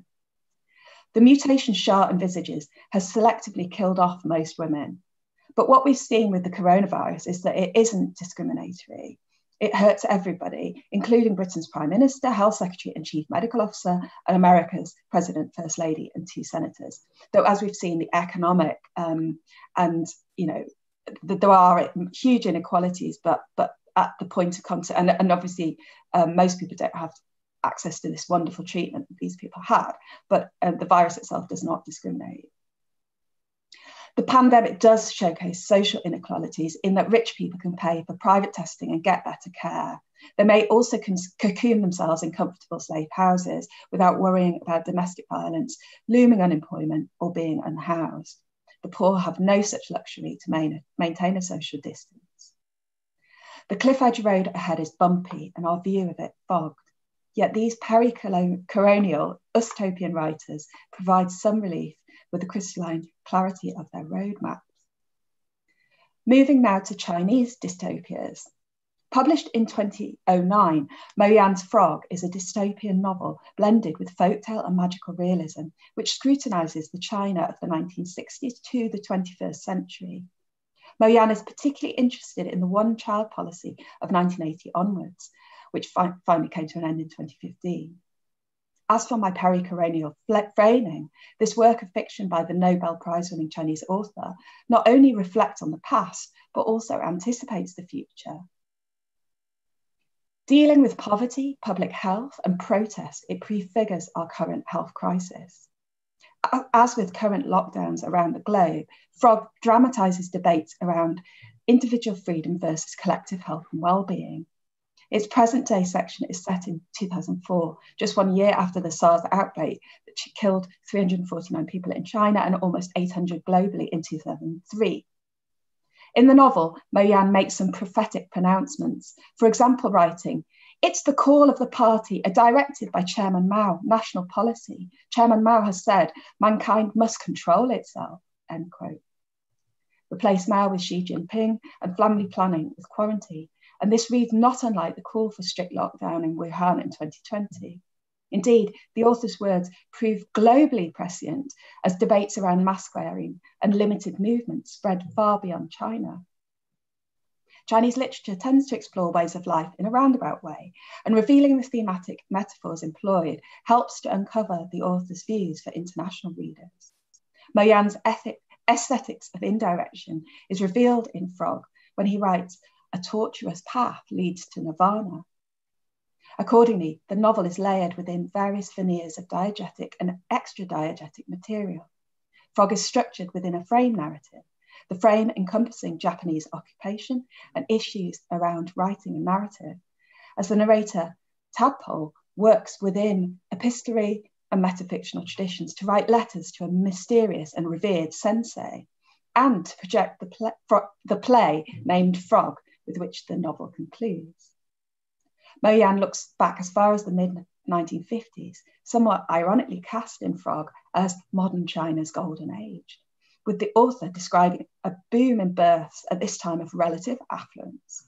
The novel then evokes the swift reversals to the nation's fortunes that took place in first the Great Famine that killed at least 36 million Chinese people in 59 to 61, and second, the Cultural Revolution of murder, rape, and public shamings. The novel contains visceral reflections on hunger, including characters eating grass, coal, and one even writes an, a lyrical essay, an ode to coal, on the fossil fuel's gustatory pleasures, as well as the titular frogs. Frogs aren't just nutritious, though, but have fertility resonances. The sighting of these amphibians is supposed to herald the arrival of twins, children who are desired as they allow parents legitimate circumvention of the one child policy. Also sought after are boy babies for ingrained patriarchal and feudal reasons that are under reconstruction in communist China. If they aren't lucky enough to have twins, many parents choose to bring what is known as bootleg kids into the world the rich paying hefty fines for exceeding the single child maximum, the poor hiding their very existence and therefore sacrificing the legal rights of these children. The narrator himself becomes entangled in these strictures as he ominously gets married in 1979 at the start of the one child policy. And his first wife later dies, having a termination at the hands of his aunt, Gugu, a prolific IUD fitting and abortion giving nurse whose motto is family planning is party work. As the state deploys science to interfere in ordinary people's personal affairs, the novel veers into magical realist territory. we see the arrival of the sweet potato kids, a glut of children born after a bumper harvest of the root vegetable. And there is a, a craze for clay dolls or figurines that it is thought one can buy and then have the same kinds of babies. In this quote, world populated by errant knights, psychics, and some who conceal their faces, end quote. Readers encounter miraculous, dreamlike events, including late life pregnancies and lactating non mothers, as folkloric and supernatural elements combine. Published nine years after Frog in 2018, the dissident author Ma Jian is preoccupied in his novel China Dreams with what Michael Rothberg calls multidirectional memory in the context of the Cultural Revolution and its post traumatic afterlife. The novel opens in the dystopic mode with protagonist director Mao Dede heading up the China Dream Bureau. There he is working to develop a device that deletes people's memories including his own painful flashbacks to culpability in the Cultural Revolution's vi- violence. The populace's hopes and dreams will be deleted by this chip, being replaced by the China dream of Xi Jinping, a future facing, past erasing form of rampant consumerism. As part of his program, Mao Dede organizes a large golden wedding celebration for couples who have been married 50 years. Yet he himself is an unrepentant womanizer, married but with at least 12 mistresses at any one time. This hallucinatory novel is punctuated by his conversations with his various lovers by SMS, WeChat, and the forwarding of the maxims and aphorisms of which he's so fond. Mao Dede's own mantra becomes, You're not me, apropos of his younger self, as he keeps having flashbacks to his past in the 1960s. His intrusive memories consume him despite his best efforts, to the extent that he loses his job and is regarded as a madman. His downward mobility is reflected in a formalist backward trajectory as the novel transmogrifies from the dystopian, technologized future into a sort of past orientated magical realism. Instead of a device or chip, Mao Dede changes tack, trying to make a China dream broth or soup from mysterious and hard to gather ingredients, like one drop of his mother's menstrual blood and another of his father's tears. Yet his parents are long dead by suicide, having imbibed pesticide to escape the ravages and social shaming of the Cultural Revolution. In this context, Mao Dede longs for amnesia and escape from the increasingly intrusive thoughts about his violent existence in the rural China of the 1960s. However, he does worry about losing the last happy memories of his parents, even though he himself had earlier been content to prescribe the wiping of others' brains. The novel is rounded off by an excellent afterword in which Ma Jian writes of having been exiled from China for six years and notes that all utopias end up as dystopias. It is interesting that the um, Chinese. Claire, if I may, I just need to yeah. um, give you a little time warning and bring us to, sure. to the close. So another another yes, minute I'll bring it. I'll Thank bring you. it to a close. I just want to close with a quotation written before the SARS-CoV pandemic. Um, oh, sorry, the novel was written before coronavirus, but here is Ma Jian in an excoriating op-ed in February this year about the pandemic. Xi Jinping's mishandling of the coronavirus epidemic must now be added to the party's list of shameful crimes. With serious outbreaks occurring in Japan, South Korea, Iran, and Italy, it is clear that the virus of Xi's um, totalitarian rule threatens the health freedoms, not only of the Chinese people, but all of us everywhere. So I was going to just come on to talk to recap um, this idea that literature does possibly give the opportunity for empathy, um, but too often that is extolled and is maybe exaggerated. Um, that the virus has not really been an equalizer. And just to point towards three um, world writers, Zadie Smith, Elif Shafak, and Arundhati Roy, major um, writers of colour who have all published non-fiction this year, reflecting on 2020, which I recommend to you very highly indeed. Thanks a lot. Thank you very much indeed, Claire. Um, I'm sorry to, to have had to bring that to, to an early close. We now have an opportunity for questions to members of the, the panel. Um, and I'm going to use the chair's prerogative to open up here. Um, one of the effects, of course, of the pandemic has been to make everyone think more carefully about the relationship between humankind and the natural world. Um, and I wonder if any of our speakers would like to reflect on ways perhaps in which we may be seeing the evolution of a new, what we might describe as eco poetics as a result of the, the pandemic. How have we seen that emerge perhaps in, in recent literature or the other forms of writing and cultural production we've been hearing about? Um, I don't know if Claire, would you would you like to kick off on that one? Yeah, uh, I mean, it's sorry. I'm sorry, true. David. Just very quickly, um, I, I just found this this panel fascinating, and can I just suggest that we we minimize the break in between uh, the panel and uh, the next keynote, so we can have 30, 30 minutes for discussion, please. Sure, absolutely. Yeah. Thank you. Claire. Yeah, I mean, I just quickly, um, very interesting question, um, and definitely, I think it was so interesting to hear that point about um, i think it was in federico's presentation about um, the possibility of both and thinking um, which is something that I've, I've seen come up a lot. And i think um, in regards to the environment it was hard not to sort of feel some you know optimism when the world stopped and flights were grounded and and nature was sort of coming back to cities and things. Um, and some people have like the french um, philosopher Bernard Henri Levy in his book about coronavirus said that that's obscene way to think and that the, the current crisis is an unmitigated disaster, which is a kind of rationalist approach. But I, I don't think that's true. I think it's possible to hold together both and thinking that yes, the virus, this pandemic is a disaster. And yes, it is also there are also some benefits. Um, and I think that we will see um, writers turning to, to nature. I mean, it's already happening. There's a you know big field of study of post-colonial um, eco-criticism that's you know that's looking at some fascinating work from around the globe. And I, I can only ma- imagine that that's going to accelerate.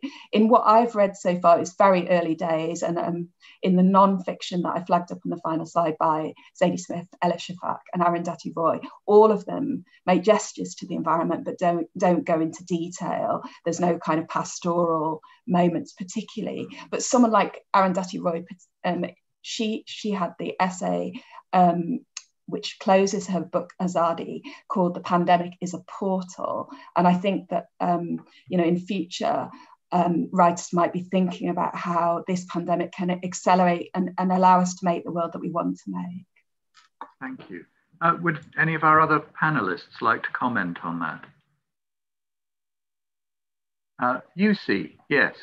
Yes. Um, so I think um, the, the pandemic definitely makes um, the environmental issues um, appear. I mean, it was always there, but it just makes it more apparent to the people.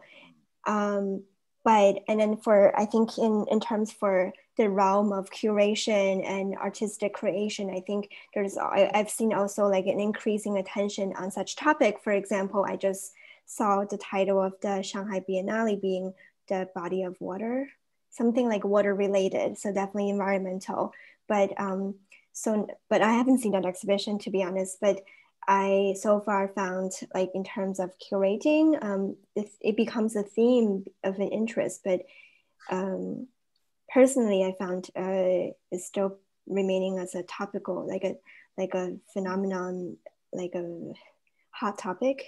But for example, one thing I didn't see and I hope that I could see was um, the stop of production, which is environmental and reuse when we are still creating exhibitions and we're creating so much waste in terms of during the production, like papers and um, exhibition materials. And that's not something being really discussed and, and explored, but, um, but just a mm-hmm. theme and the concept as environmental is definitely prominent in, in the world of curation and art. Mm. It's very interesting to me to look at the absolutely horrific pictures of the treatment of mink in Denmark, which of course is now the, uh, the subject of a new outbreak fear because these mink appear to have transmitted a, a variant of the coronavirus. Uh, the really shocking thing about this was to see the conditions in which those poor animals were kept in the first place in tiny cages. Uh, so one might feel optimistic that this has highlighted issues of cruelty to animals, as well as a, a, broader understanding, if you like, of our dependence on, on raw materials. I wonder if there are any other points uh, arising from that, or would anyone like to ask another question of our panelists? May uh, I can, add something very, very, very, very yeah. Uh, rapidly? Uh, for sure, I think it's something that we're going to see in greater measure in the in the in the time to come because, um, for example, um, it really depends also in the in the context you're in. For example, at the beginning, I remember when uh, there was this big discussion about bats being the cause of the of the of the earlier outbreak. Um, there was some discussion on that and so on uh, wild systems of, um, of, of, of, natural exploitation. Um, there was something in Europe when, and, and, specifically in Italy, when the, when the country was in lockdown and we saw nature reclaiming its spaces. And so there were people reflecting on that. I'm talking about artists now. Mm. Um, um, and there's solar punk, for example, in science fiction. Solar punk is this uh, attempt by science fiction to reason not to, to, to build not only a dystopian vision of the future, but also to think about how technology can actually help us to build a better future, not only a, worse future. And so uh, I've heard some solar punk writers or, uh, or scholars um, pointing exactly in this direction, like pandemic is showing that we are right, and there's a lot of potential in that direction. So I really, I'm really confident that we're going to see a lot of these eco poetry uh, variously intended in the years to come. Hmm. Thank you, Federica. Any other points or any other questions? We have uh, Federica on the chat line, um, liking the idea of both and. May I ask a question using host's privilege? Please, Lauren, go ahead. Thanks so much. I hope, um, first of all, I just want to say I really enjoyed all of the presentations. And I felt that one of the sort of undercurrents, sort of latent elements that um, was a strand that um, I, I, I, intuited all the way through was um, part of my own research, actually, which is surrealism. Um, surrealism on its most fundamental level sort of reconciles the individual and the collective um, through the dialectic that uh, Federico mentioned, um, Bianzhengfa. Um, and I think that if we look at it on its most fundamental level, post-socialism in China was a reconciliation of the individual and the collective and our uh, sort of a, a, recognizing of our individual subjectivity. But that sort of this, that dialectic, I feel, has sort of been suspended in a way during the coronavirus due to the censorship of anything subjective. Um, the nurse's poem, um, for example, in um, uh, Federico's presentation. And there's also that bifurcation from surrealism as well in Claire's presentation uh, with the uh, magical realism, a sort of spiritual bifurcation from surrealism. Um, and also in Stephanie's presentation as well, Zhang Xiaogang um, has been inspired by René Magritte, and I think a lot of his work's dialectical as well. So um, I was just wondering if um, you had any comments on surrealism or the dialectic, any of the panelists.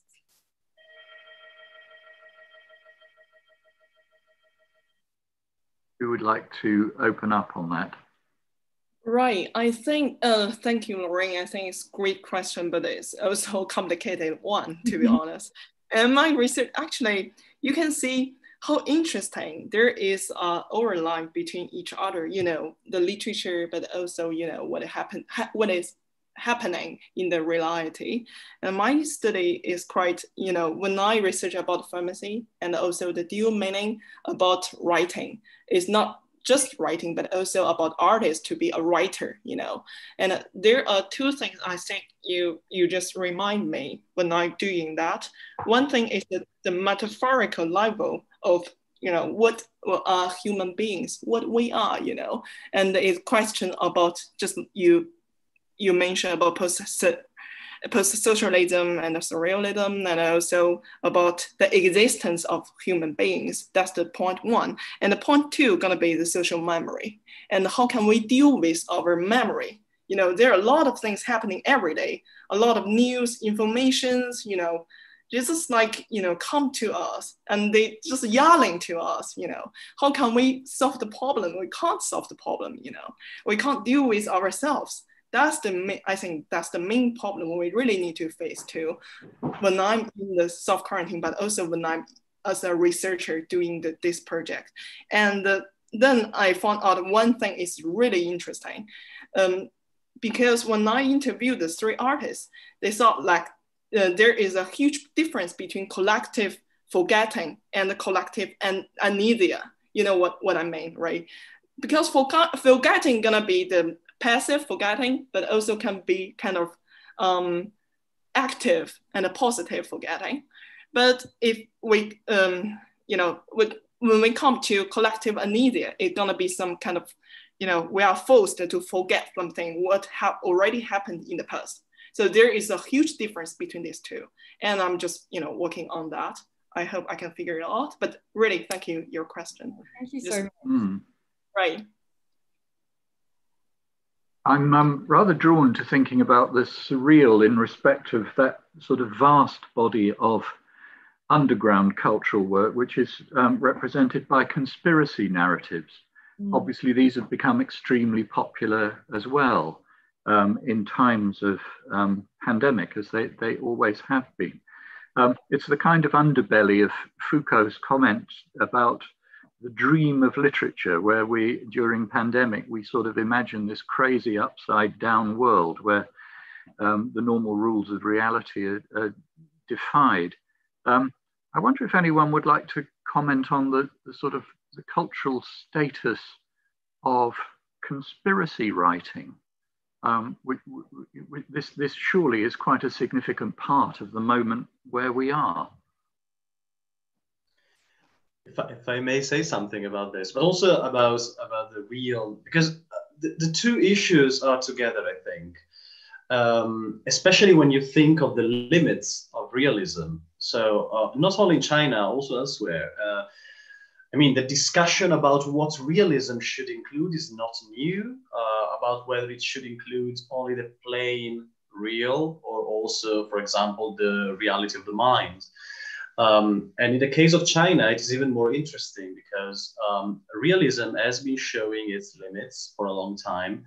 And especially now, something I see and some, something I would, be, I would be very, very interesting in analyzing further is that um, realism, the possibilities of realism have come to, um, to an even uh, more visible limits because spaces for creative uh, intervention on the real are becoming increasingly narrow, especially uh, during, during the last decade. So writers and also artists are using different alternative forms to talk about the real. So for example, in literature, we talk of uh, hyperrealism, exactly to address reality from a more nuanced perspective. And when it comes to conspiracy, for example, so in, in, in the narratives, in the poetry, but also prose, I've tried to, to analyze. Um, from the very, very early, uh, from the very first months of the epidemic outbreak in China, something you see uh, again is not really plain, uh, is, is, is not explicit critique, but then you have these empty streets, this silence, etc. And if you analyze these works from an aesthetic point of view, because of, of course they're also socially relevant, but we, sh- we should never forget, I think, the also uh, uh, uh an, uh, an, analysis from an aesthetic perspective, because that's, that's exactly what allows you to see how this critique, if it's there, is unfolded. For example, silence can, can also be um, a way of, of uh, creatively reflecting on what's going on, especially in a moment when there's not silence, there's, there's the claim of, of slogans and of, of the people's war and total mobilization. So if you concentrate on silence, that's a precisely that's a precise choice in another direction. And conspiracy, for example, I remember reading um, a poem by another migrant laborer uh, um, uh, stranded at home, and he uh, because you know of course fake news were ubiquitous also in China at the beginning, and and and also Li Wenliang's case shows that how, how we can also I mean how the idea of fake news can also be used at the expense of real news, right? Mm. Um, and I remember reading a poem about this migrant laborer who um, joked precisely on this fake news. So he um, um wrote about all the um, rumors he would hear uh, at his home village about how the virus spread. And there were all sorts of wild and very inventive rumors around. But then he says, uh, so yeah, we, we are just spreading rumors perhaps. But the point is, we don't know what's happening. Yeah. So in that case, conspiracy uh, is um, read in a different way. So uh, it's actually uh, th there's there's um, um, a reflection on how conspiracy spreads, also because there's bewilderment, bewilderment. There's confusion about what's happening, and that's especially true for systems where there's no uh, free circulation of information. One of the oldest um, conventions of plague writing, of course, is to compare um, viruses to rumor itself. Rumor becomes a virus, naturally, yes. Um, do we have any other questions from the floor or observations from panel? Claire, yes. Yeah, no, it's a really good good discussion. This, and I think this idea of surrealism might be more useful to me than magical realism. I've been struggling to find the words for the Chinese texts, at least, which are quite new to me. Um, you know, they blend folklore and um, you know, surrealism definitely plays a part in both the novels I looked at, and especially in China Dream. There's a prostitute scene where there's kind of an orgy with these women dressing dressing up as red guards, and the Mao Dao Day character sort of drunken, and and it's there's all the dream aspects that come in, you know, a lot in the novel that makes makes it hard to sort of separate the real from the surreal. And linking that, I mean, I agree with Federico that these things are closely linked. When you brought up conspiracy theories, it does kind of link to this surrealism mode in Pakistan, which is what I really know. Um, there's been all there's always conspiracy theories with the virus. Um, there's been rumors that it's not real or that it's um, it is real, but it's targeting Muslims and stopping them from their worship. There's been, you know, words to that effect. And but in in the case of Pakistan, you know, the truth is often stranger than the rumors. Um, so, for example, the, there were always rumors that polio vaccinations in you know 10 15 years ago in the northwest of the country was a conspiracy um, to emasculate uh, Muslim uh, Muslims and, and you know mm. stop families from you know reproducing. But actually, the CIA had been using polio vaccination programs as cover for investigating the um, Khyber Pakhtunkhwa region. So you know, no wonder you know. So rumors had their had their basis in some fact that they they got the wrong end of the stick. Um, and I, I agree with Federica that in this world this 2020 world that realism just is completely ina- inadequate to talk about such things. Um, when you talked about the empty streets and silence, Zadie Smith in her book, which I wasn't able to talk about because of my time mismanagement, um, she talks about what it must be like for people with florid mental illness at this time. That the thing that they've always feared is here you know you imagine that devastation and a world coming to an end and empty streets. And what must it be like if you if you don't adequately understand day-to-day life to, to actually see this cataclysmic event? So she talks very powerfully about that. So i think that another trend that we're starting to see is and i think we're seeing that in the presentations is you know mental health um, you know fake news rumor and how this can kind of disturb the mind an interesting post here from from Louise, um, which is really, I, I, guess, about this the experience of um, migration of being displaced by coronavirus, which is, I guess, the other half of the equation here, isn't it? We, we think partly of the effect of virus as being locked in our own homes, but of course, but for millions of people, it's an experience of being, if you like, in a semi-permanent state of exile. And Louise draws our attention to uh, the artist Xu-Fei Detz, currently based in Berlin, unable to return to Australia due to the first lockdown. Um, Can I ask a question? Yeah. Um, thank you.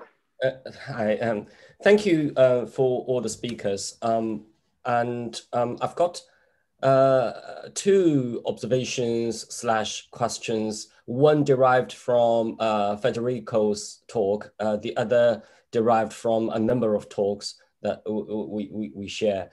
Um, from the Federico one, um, uh, I was fascinated by, about those kind of um, Chinese slogans uh, in rhyme. Uh, the one that um, you in your on your PowerPoint, which was 口罩你不戴，病毒把你爱. It's like if you don't wear the face mask, um, uh, the virus will fall in love with you. Um, and um, I, I, think the making those slogans in rhyme is trying to increase the accessibility to to the public, I guess, and particularly those uh, who um, have less education or they, they can memorize things easily. But at the same time, that when you making such a serious issue rhyme, would that reduce the seriousness or undermine the seriousness of the message? Um, this is this is really purely to do with uh, with uh, the, uh, the, the literature, and um, uh, this is beyond my area, and would like to hear colleagues' view uh, on that. Um, the other point that I was going to make is that um, I really like um, the the uh, the presentation from uh, Yusi, um, and uh, the uh, and we we were talking about how you actually record um, uh, your experience, and also uh, the the presentation from. from Stephanie um, and including Liu Xiaodong's painting as well as um, Yan's um, the, the writing and painting. And when you see the writing um, itself, it's not typing, it's, it's, it's proper writing. And I'm amazed by this Yan's handwriting uh, at this young age. You know, it's, it's a beautiful writing. And the writing itself actually materialize the literature in a way. And it's, it's not record the thinking itself, but also record the process of the thinking whilst um, the, the typing is a kind of recorded form of the thinking. So you, it's an edited version that you don't see the mistakes, you don't see um, uh, the, uh, um, the errors of, uh, of grammar, for example. Um, so there's two types of things. And uh, the, the, the, latter one, which is um, writing itself, um, it's a kind of more genuine in a way, it's, it's more true in a way in, in terms of literature, as well as uh, painting. Um, I doubt it whether Liu Xiaodong uh, painted um, uh, Liu Wa and uh, Yu Hong, his wife, on spot or painted a photograph. If it's the latter, it's a fake. You know, it's it's it's not true. So uh, when we're talking about recording the experience of the pandemic, um, I think these things um, come into play and and let us to rethink about the ways in which that we we, we record um, our expressions. Anyone, like to comment on that?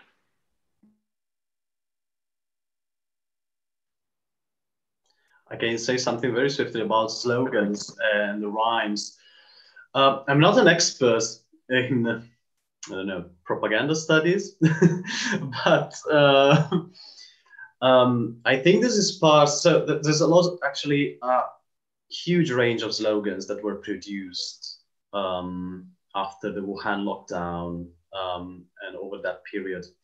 And some of them are much duller and much more monotonous than, than the one I showed. Um, I think it has to do with making it really pervasive. So you have the more serious slogans on the one hand, and then you have rhymes, then you have slogans to somehow play with language uh, to make it. I'm not sure if it makes it more accessible. It just perhaps it, was just a way to spread it, to to make it ubiquitous, to make it appear everywhere, and not to make it too dull.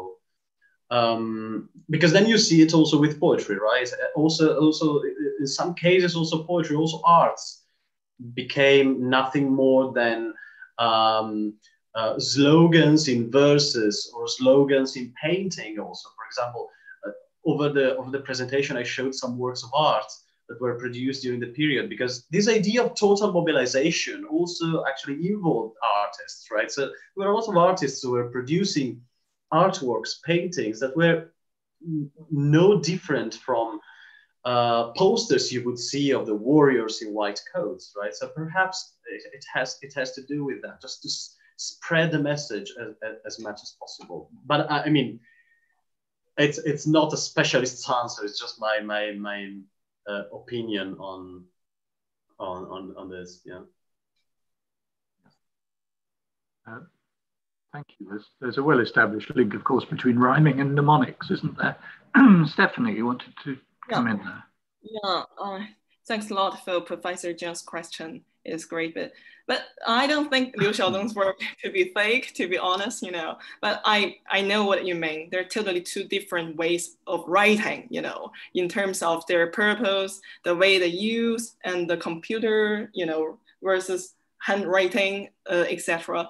Uh, but for me, you know, the the most fascinating point for this comparative study uh, to do three artists is that you can see how the writer, the so-called writer, the artist as a narrator, how they record their life, you know, during the pandemic. Maybe they're gonna, you know, tell some fake things, you know. Of course, maybe they're gonna imagine about their audience, especially as you mentioned, Professor Zhang, Liu Xiaodong definitely gonna think about the audience who gonna buy um, his painting. Of course, the thing's gonna sell in the Lisson gallery, right? What Otherwise, he will not paint such so much small little paintings. And you know, in art market, small little paintings always appealing to the small and the bourgeois collectors, you know, because they can't afford the, the larger size. But anyway, yeah, I think that's interesting for me, you know, to not to tell which is true, which is fake, you know, but to see how they treat, you know, as a um, narrator to raise up the question and to solve their kind of daily lives problem because there are so many things coming through during the pandemic.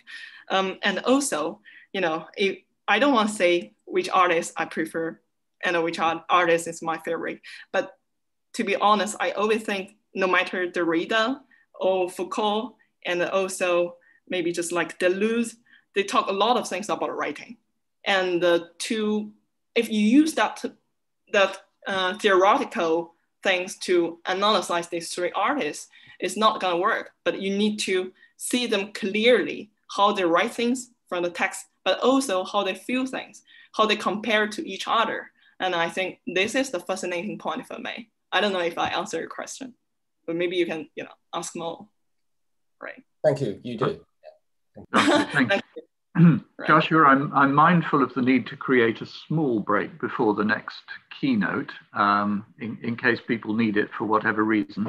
So if I may, I will just thank all of our panelists, Federico, Stephanie, Yusi, and Claire, um, for a fascinating series of papers and a very good discussion afterwards. It's been a pleasure to meet you all virtually. I hope one day I might meet you in person. Um, I'm going to hand back now to uh, Joshua and to Lauren. Thank, Thank you. you. David. Thank you for your um, um, uh, chairing the um, um the session. It's it's it's just fascinating. And um, uh, Lauren, um, do you want to say anything, or we have uh, a quick break? Oh, one thing that I would like to say is that, including the chair and and uh, the panelists in the morning. Um, can we just invite you, if you are staying in the afternoon as well, in particular, uh, uh, just uh, at the uh, um, finishing point at three o'clock UK time, 11 o'clock China time, that we will have a virtual drink uh, session. So at this point that we can uh, open up our mics and we can talk to each other um, and we, we celebrate in that way. so please join us if you can. Thank you, Joshua. So yes, um, we will. Um, we know that our next um, keynote speaker, Bo Zheng, um, will be coming online very shortly. So um, please just take this um, five minutes uh, for yourselves, just to get a bit of um, uh, time away from the screen, and we'll see you sharp at eleven. Thanks so much. Okay, we will get back in five minutes' time. Make a tea.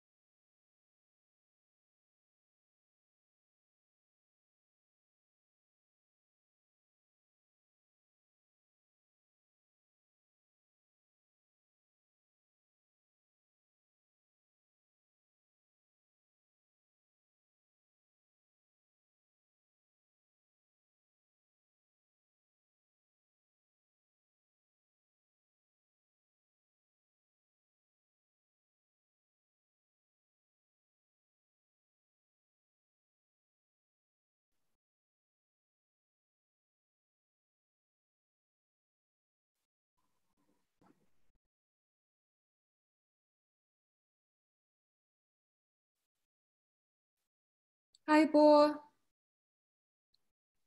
Hello. Hello, how are you doing? Good. Can you hear me well? Yeah, we can hear you perfectly. Thanks so much. Okay. Yeah. And Bo, do I remember correctly if you had a PowerPoint for today? Yes. Oh, that's brilliant. So we're almost on time. Um, if mm -hmm. we mm-hmm. start in about one minute, we just had a five minute break. Sure. Yeah.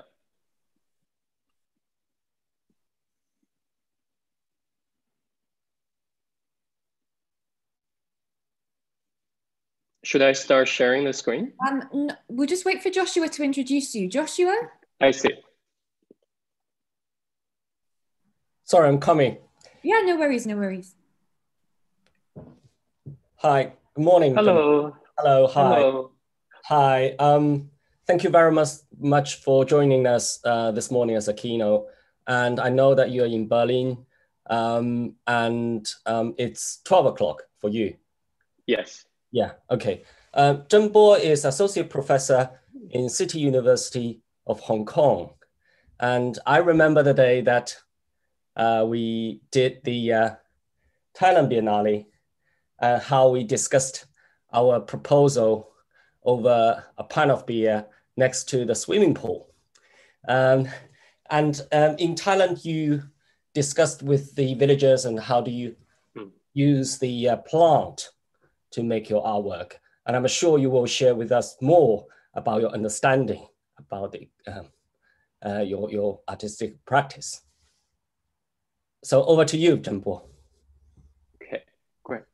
Thank you for inviting me and I will start sharing the screen.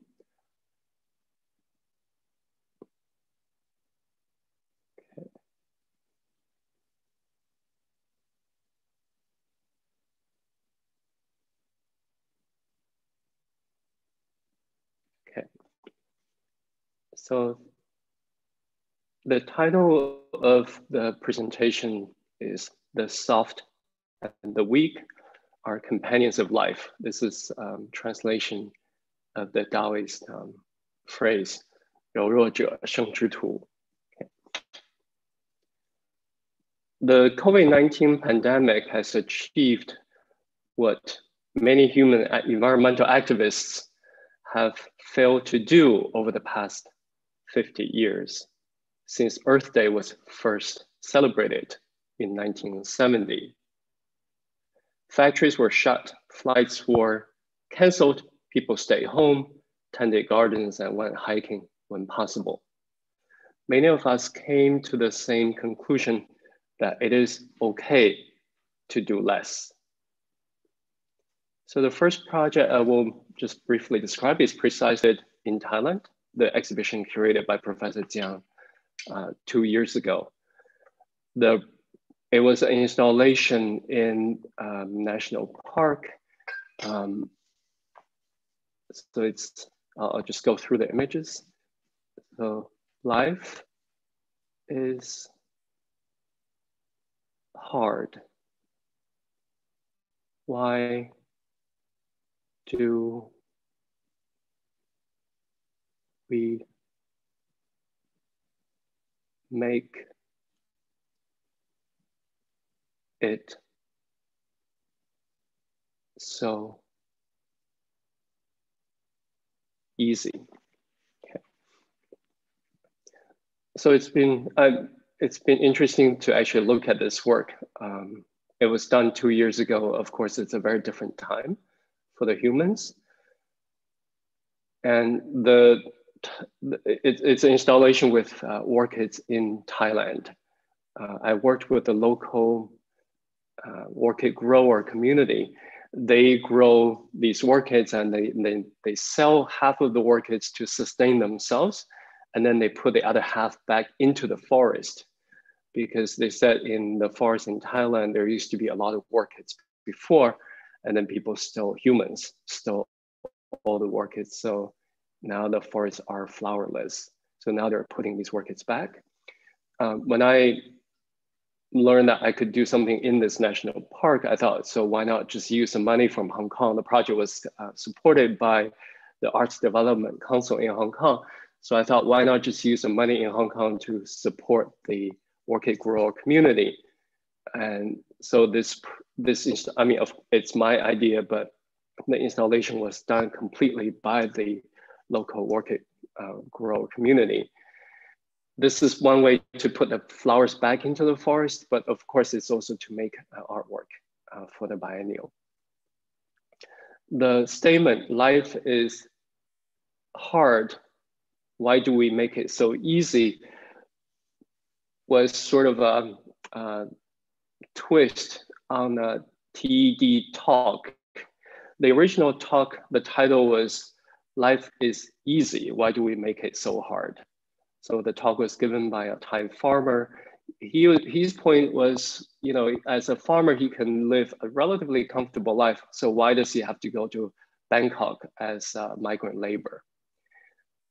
When I, the, the talk was very popular on TED, but when I uh, heard it, I also thought it's more of an um, anthropocentric perspective so when we talk about life, is it about human life? Is it about migrants' life? Is it about life in general of the 10,000 beings on Earth? So I also wanted to broaden the statement by flipping the sentence around. I think it's interesting for me even to look at this work now after two years because I didn't expect that even for humans that we will encounter something as difficult as this year.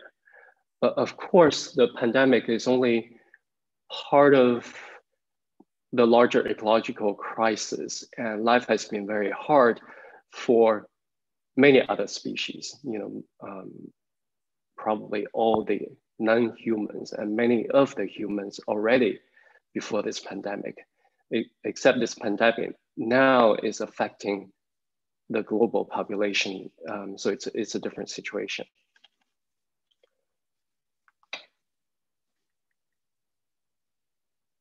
So among the lessons that the virus has taught us, tragically, is that we cannot continue living in the fantasy that we own this planet. We do not. We account for only 0.01% of the total biomass on Earth. So here, this is a work I did last year in Hong Kong. Uh, again, it's, um, it's a text planted with uh, plants. Um, you are the 0.01%. Uh, this is based on a research publication in the, um, in a science journal. Um, the researchers studied the biomass on Earth and humans only account for 0.01% of the total biomass on planet Earth. But of course, we use um, half of the land. We also use 30% of the primary energy produced by all beings on Earth. I planted this in oil art space in North Point in Hong Kong. Actually, next to this art space is a building, uh, actually in construction. It's a hotel set up, uh, newly built by Li Ka-shing. And as many of you probably know, he's the richest person in Hong Kong. So this also sort of reflects on the human equality issue, as many of us probably know the where the 99% has been a slogan since Occupy Wall Street. But I wanted to connect the, um, the human inequality that we are 99% with the ecological situation that humans, as humans, we only account for 0.01% of the biomass. So on, on one hand, perhaps many of us belong to the 99%, but on the other hand, we also belong to the 0.01%.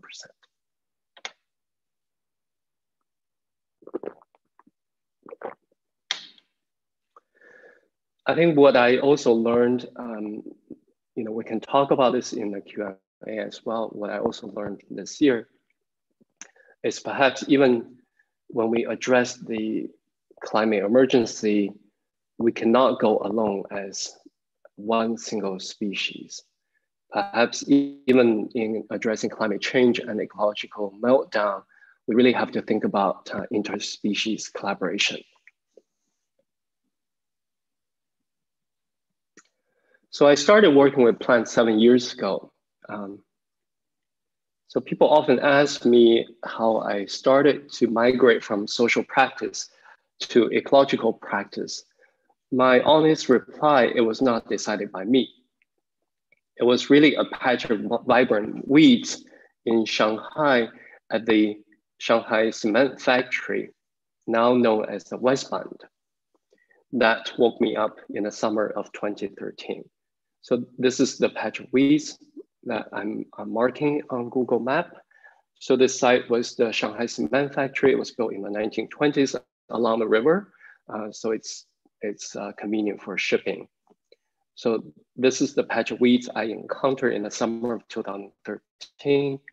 I was really shocked because it's quite central in Shanghai. I was not expecting to see such a vibrant habitat in the center of Shanghai.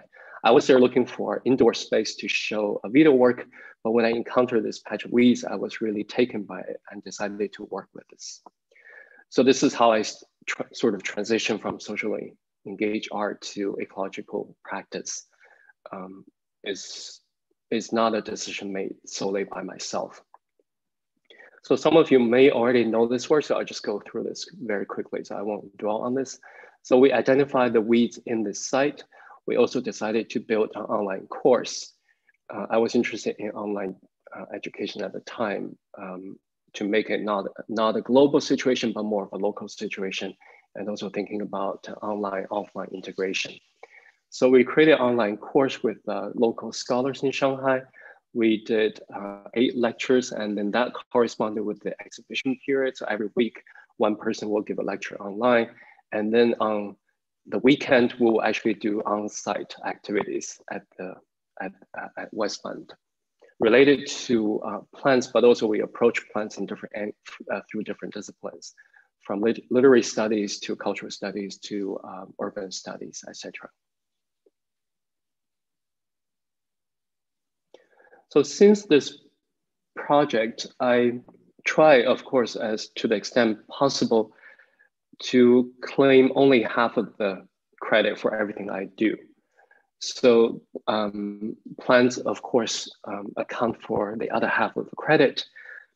They actually sculpt and play, and I can live and breathe. So many of us in the art world have long abandoned the, the genius trope invented by the 16th century writer Giorgio Vasari. Now it is time for one further step to abandon the creationist myth of art making. We are not created by God, and we do not create like God. Without trees, spiders, and whales, we would never be able to make art. We are inspired by patterns, stories, and ideas that originate in the complex and beautiful web of life on this planet. In 2016, uh, so this is what I'm, so just a couple of examples about this idea that plants actually sculpt. So maybe this is a project that some people know. This is a work I did in Nanjing at the Sifang Art Museum. This is the original um, project. When we first started, I made these two triangles on the roof of the museum uh, with weeds from the surrounding areas um, because the you can see there are sort of a middle class residential projects around this area. And then the during construction, weeds pop up but after the construction, they always put uh, grass because people want grass rather than weeds to signify a certain class identity. So we transform the weeds during the construction period onto the roof of the museum. So later on, the kids from these neighborhoods, they can come to the museum to learn the weeds um, as a sort of in a botanical garden. But there's a twist because when after we we put the um, the after we transplanted the weeds, we don't intervene. So the of course weeds start spread. After you know, I went back, so the shape has complete picture. Um, I need to go back again. But the, the, the two triangles actually are not so clean anymore because we, they evade, they, they, they play, they sculpt. So the, the shapes are now um, sort of transforming um, into the light and shadow situation because when there's light, the weeds grow better. So it's also corresponding to the, the light and shadow created by the architecture. Joshua, is the internet clear enough?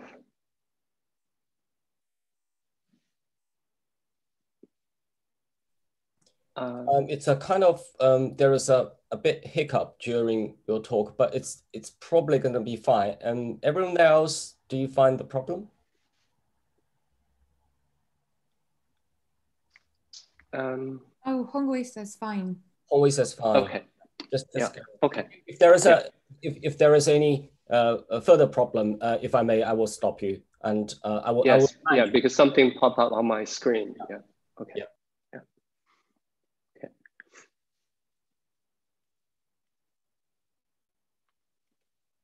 So this is a uh, show the images. This this is kind of a weeds garden in um, the UCCA uh, their new branch in Beidaihe.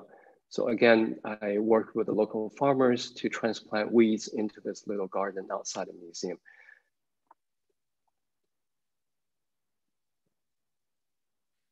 So this is a project in UK where uh, we planted the socialism good slogan in 2016. This is uh, curated by Winnie and Claire at the Cass Sculpture Foundation.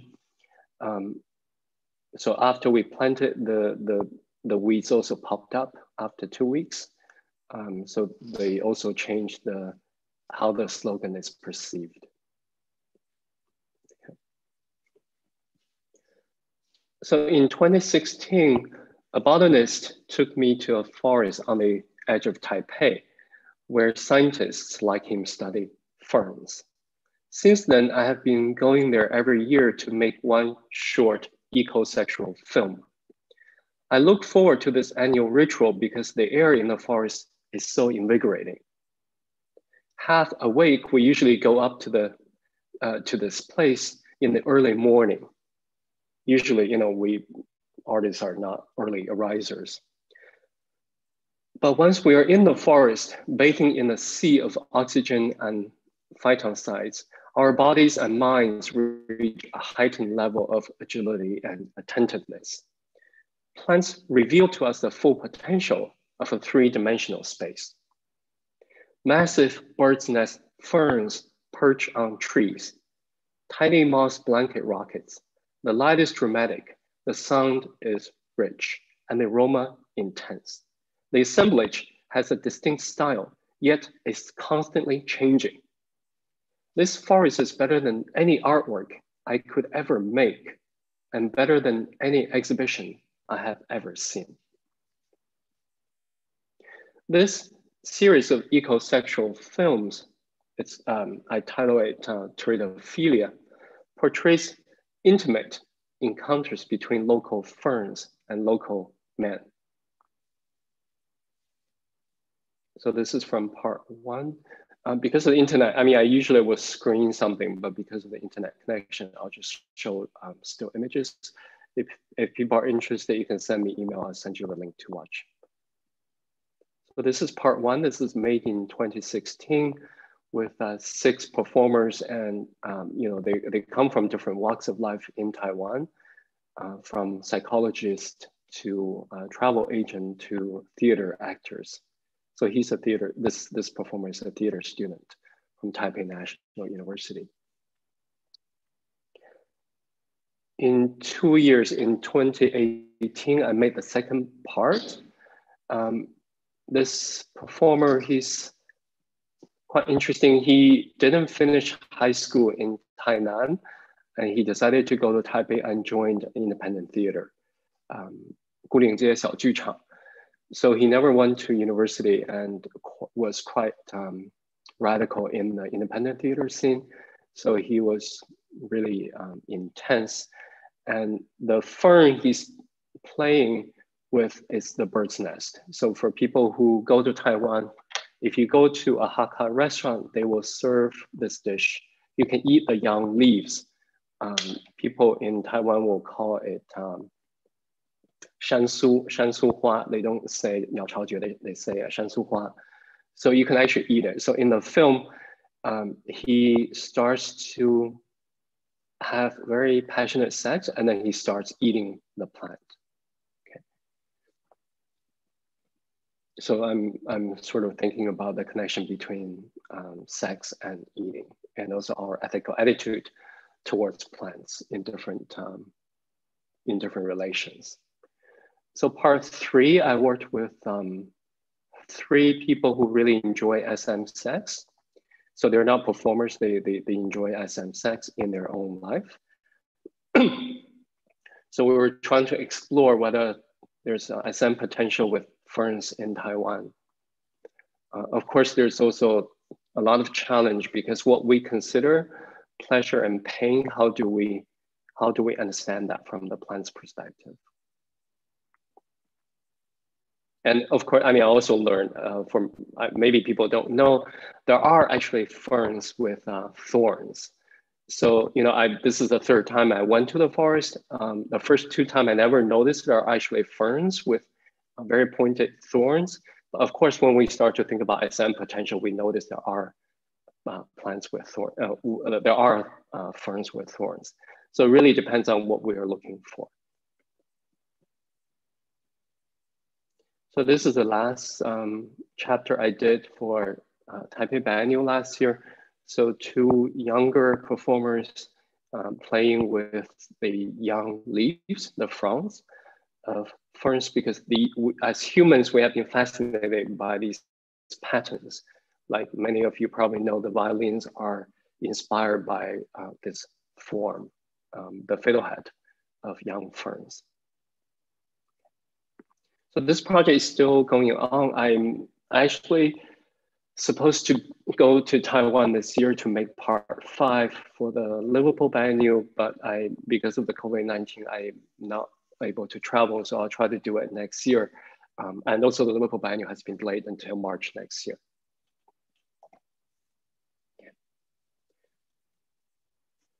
So this series of ecosexual films portray intimate encounters between local ferns and local men. I won't go into the detail of the history of ferns in Taiwan. If, you know, if there are questions, I can also explain the connection between ferns and the colonial history in Taiwan. I really do not know how I came up with this idea for this project. I remember it was very difficult to explain it to others until the first episode was produced. Then last year, I stumbled on YouTube a video filmed in New South Wales, Australia, by ecologist Colin Bower, showing a wasp.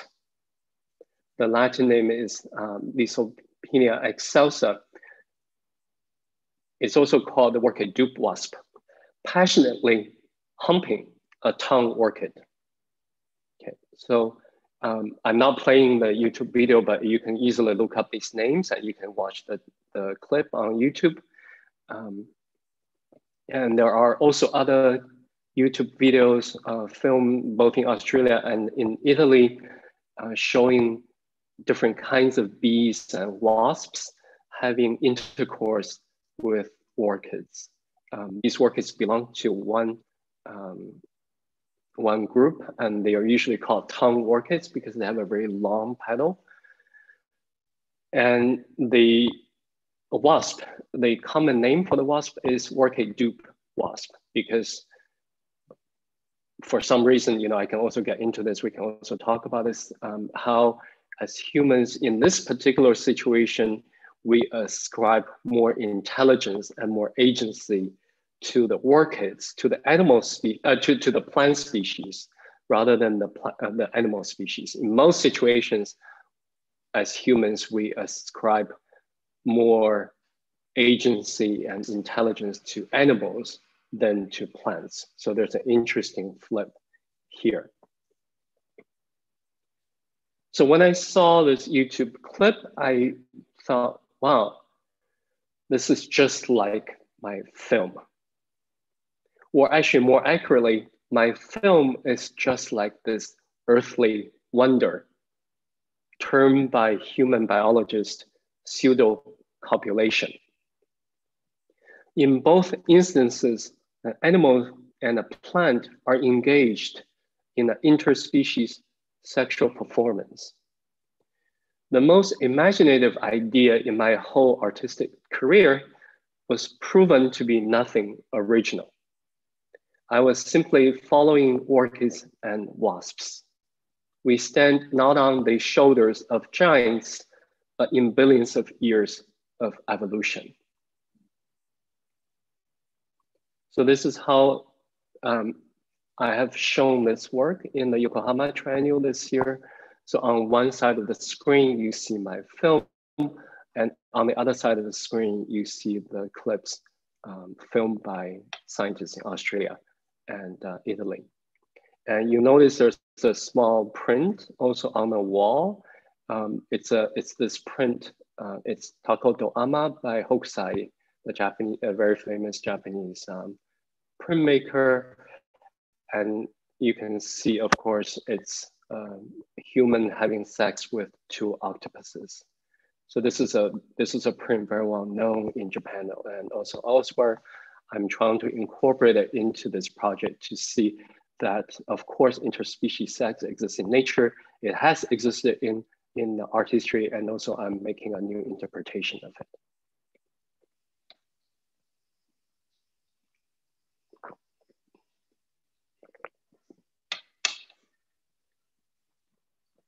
So being overrun by flowers and insects does not mean that we should just give up and do nothing. I learned recently from reading philosophers Roger Ames and David Hall's translation of Dao De Jing that Wu Wei, they translated Wu Wei as um, instead of not rather than no action or non-action, they translated Wu Wei as non-coercive action that is in accordance with the doer of things, the focus of things. Conservation scientists have also shown that human participants, us, when we practice things wisely, we can actually contribute to biodiversity. So it's not everything we do is wrong. It really depends on how we do things. A 2019 study concludes that areas managed by indigenous communities in Australia, Brazil, and Canada have similar levels of vertebrate biodiversity to that of nature reserves. So when people live in certain, in, in these um, um, areas, if we do the right thing, the biodiversity does not decrease. There are also other studies showing that Native Americans have been able to increase biodiversity of trees in forests in North America. So really depends on whether we work with other beings in the planetary garden or exploit them until we all drop dead in the capitalist market. So it is time that we define art not as human only creation, but the vibrancy of 10,000 things.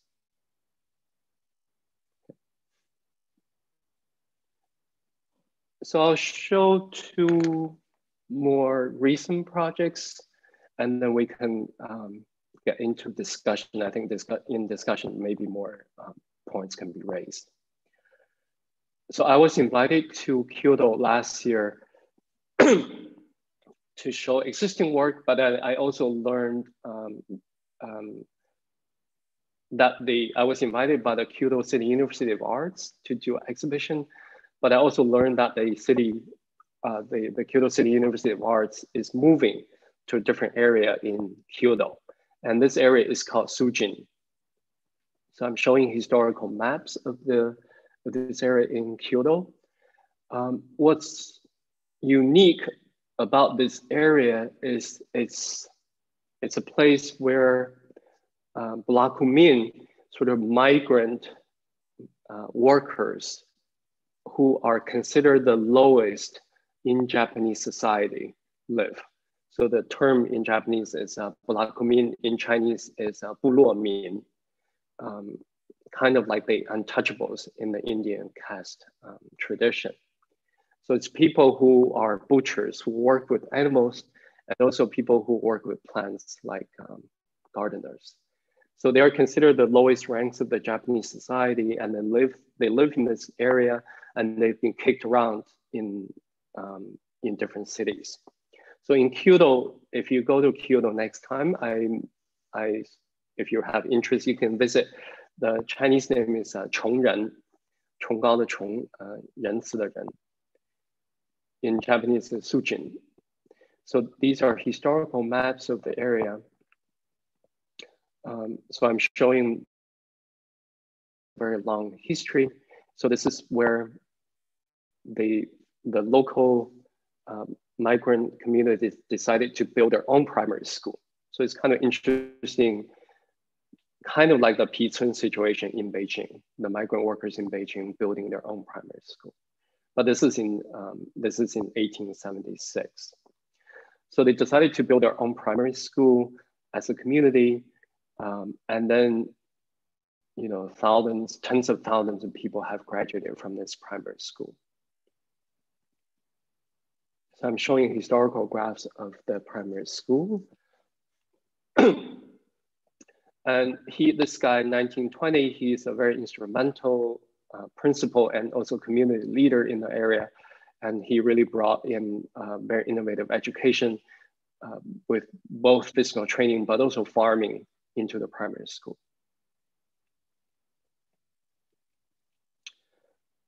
And in 1922, a very important, a very historical event actually happened in Kyoto, partly related to this area.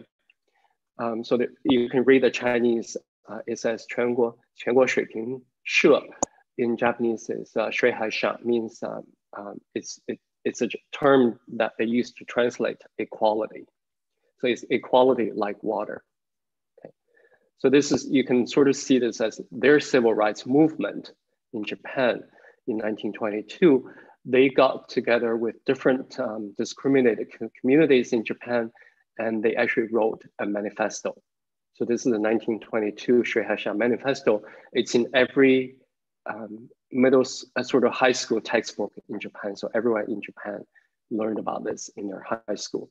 So it's related to this uh, neighborhood. So this is, they called for equality among all humans in Japan. So these are photographs since then. So this is the 1960s. So it's still sort of a slum area and then it's transformed into public housing in the 1970s um, and 80s. Um, so there's also sort of a left-wing government trying to do social experiments to, to set up a public housing in this area. But for multiple reasons, it was considered a failure. But of course, like many public housing projects, um, it's a combination of um, deliberate, uh, deliberate sabotage and also the difficulty of um, competition of different areas with private real estate. And this picture, you can see clearly the neighborhood is next to the Kamo River, the main river that runs through Kyoto, right? So whenever you have river, you have a lot of birds. so these are pictures that um, uh, contemporary photographers have taken showing the neighborhood now. So when I went there last year, it's very, I mean, it, it's very different from the other areas of Kyoto. It's right next to the Kyoto train station. Uh, it's very, you know, if you get out of the train station, it's it's crowded, it's busy. As soon as you get into this neighborhood, it just be complete, it becomes completely quiet. Uh, very few people are walking around and you can see buildings with fences. Okay. Because even today, people, the mainstream society still consider this area undesirable. I was given an example if someone is dating a person living in this area, that uh, the, the, the person who's not living there, he, uh, his parents or her parents will still object to the relationship. And this project was, um, the pictures I'm showing you is a booklet that we're making, but it's taking a long time to make this because it's highly sensitive in Japan. I think it's difficult for me to to understand the sensitivity, but it's um, I, I kept being actually instructed by the local community that this, this is highly sensitive in Japan. So it's a rundown area and then a lot of uh, public housing now are being transformed. A lot of weeds are growing again because things are disturbed.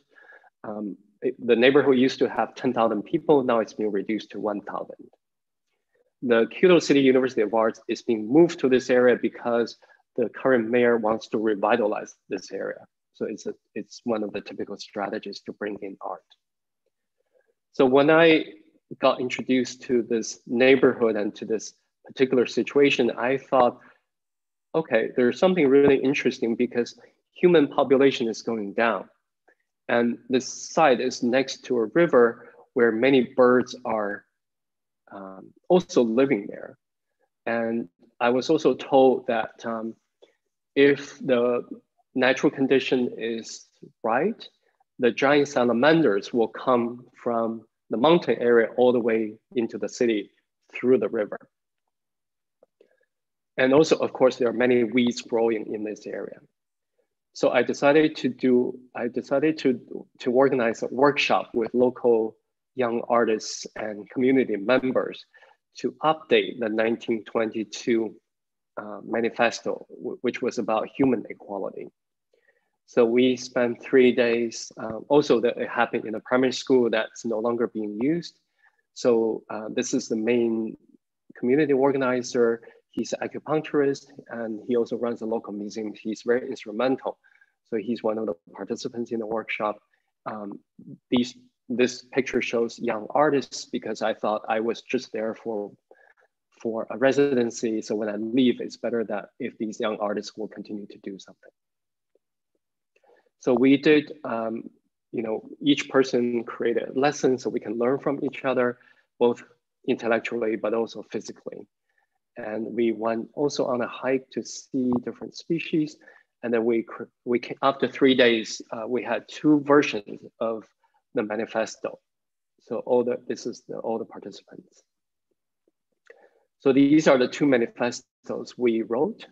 Uh, it's in Japanese with uh, English translation so both groups, of course, um, after the workshop, we wanted to create a manifesto to think about uh, multi-species equality, not only human equality, but multi-species equality.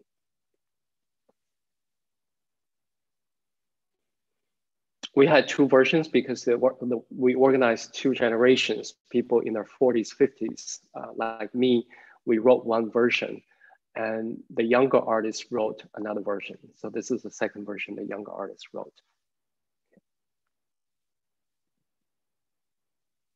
So I'm hoping this will um, continue. As um, just one sort of concrete example, one of the artists, um, the artist seen here, she she's writing one of the manifestos. She's a Japanese paint. She's a sort of a Japanese traditional painter.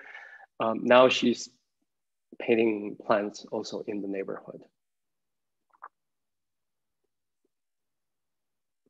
So that's what I did last year. And then uh, just what I've been doing this year, I'm, um, since I couldn't travel anymore, which in a way it's a good thing, both for myself, but also for, for my own footprint. So since April 19 this year, I've been uh, drawing plants um, every day. So I, you know, when I was in Hong Kong, I would go up. I live in a village on Lantau Island, so there's a hill behind my village. So I would just go up in the morning to draw plants. So every morning I go up and do one drawing. Um, it's it's really, I mean, for me, it's really not about um, drawing itself. It's really about spending time with uh, plants and just to to spend time in in in the hill. So I started in April 19 and I came to Berlin on August 6 on the beginning of summer, Lixia. So I've been drawing every day in Berlin. Of course, the plants are very different in Berlin. Okay, so I'm showing a few images here. Um, and also in Berlin, I started to talk to scientists to think about approaching plants on their own terms because many of the projects I've been doing over the past few years are really thinking about how plants are entangled in human political history, right? So, you know, socialism good, uh, life is hard, etc. So um, it's still sort of seeing plants from our perspective and uh, try to see what role they played in colonial history, in, um, in Chinese communist history, etc. So this year I wanted to kind of look at how plants practice politics on their own.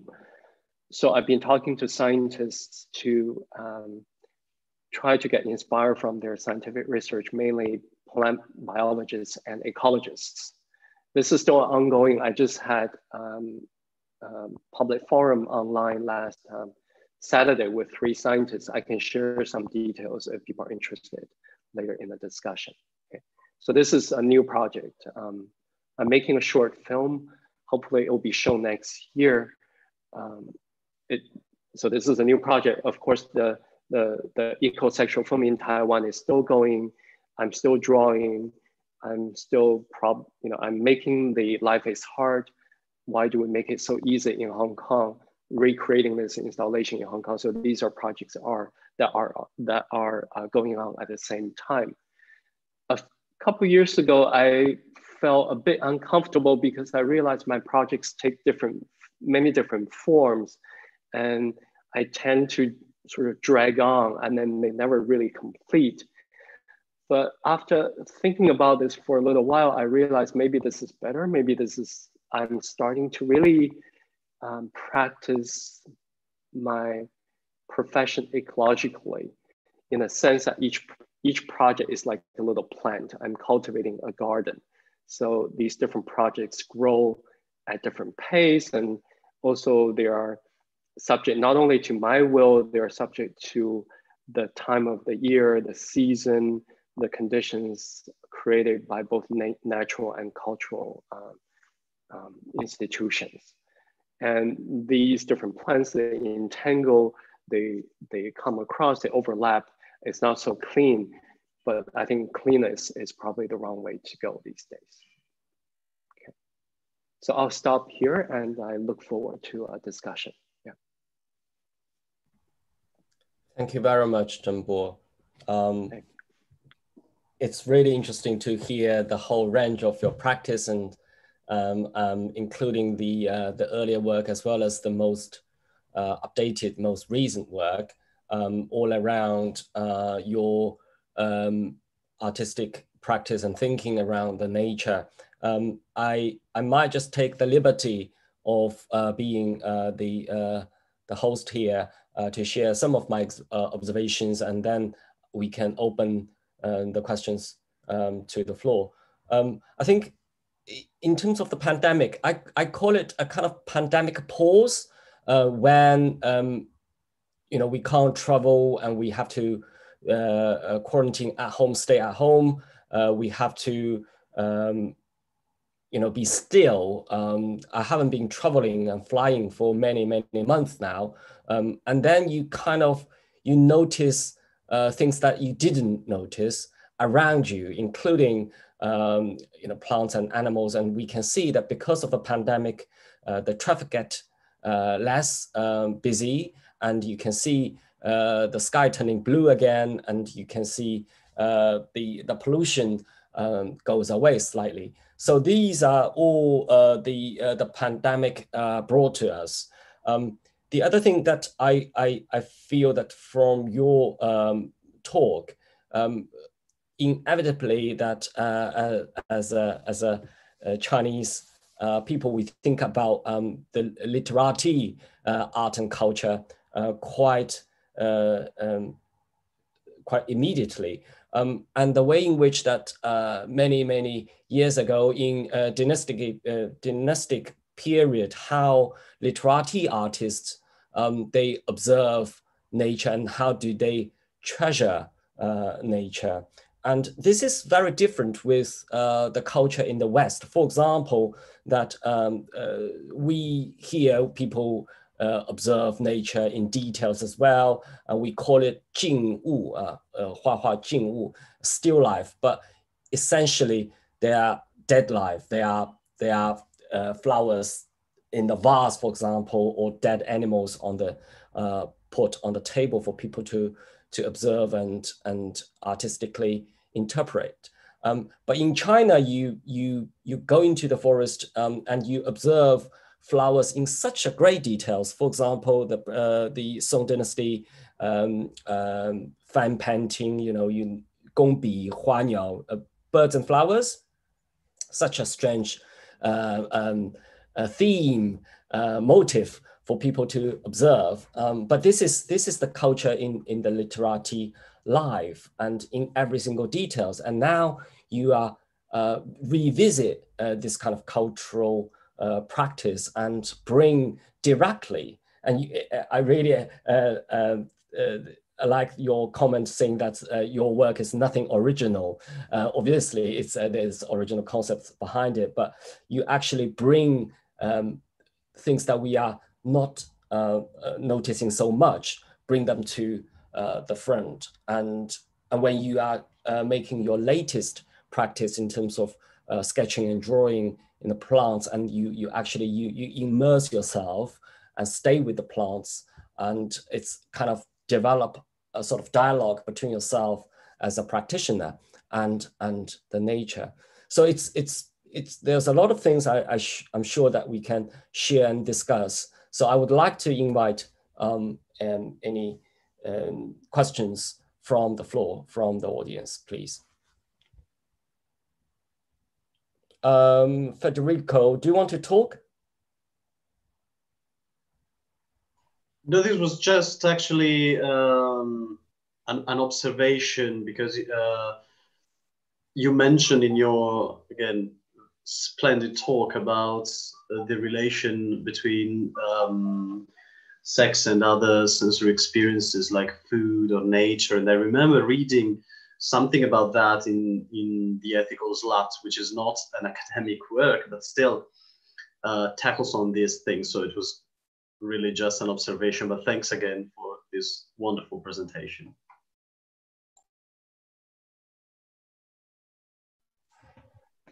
Federica? Yeah, um, hi.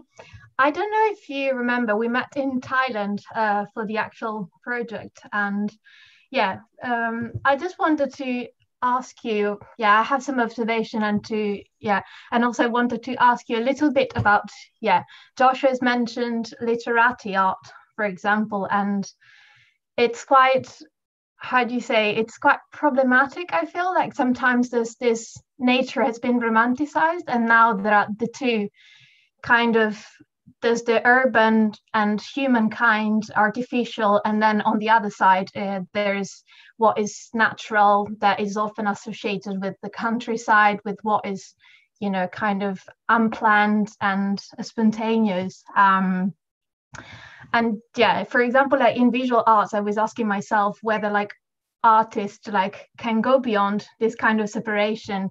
Uh, here i'm thinking about i don't know yao lu uh, uh, photographs or um, or yeah other yeah of other artists for example. And yeah if it's possible perhaps to go beyond this understanding of you know of the separation between nature and humanity that's been going on for so long that to the point that it's almost it makes me feel it's almost impossible to go beyond. So i don't know i really appreciated you like yeah your how with the um, with your project with the ferns for example how like plant seems to have an agency. Um, at the same time when you were talking about the foresting practices i'm wondering whether is that and like how do you say for, with the foresting practice in a way like that becomes again something that is planned by humankind that kind of go against maybe like the spontaneity of nature of that process that we naturally like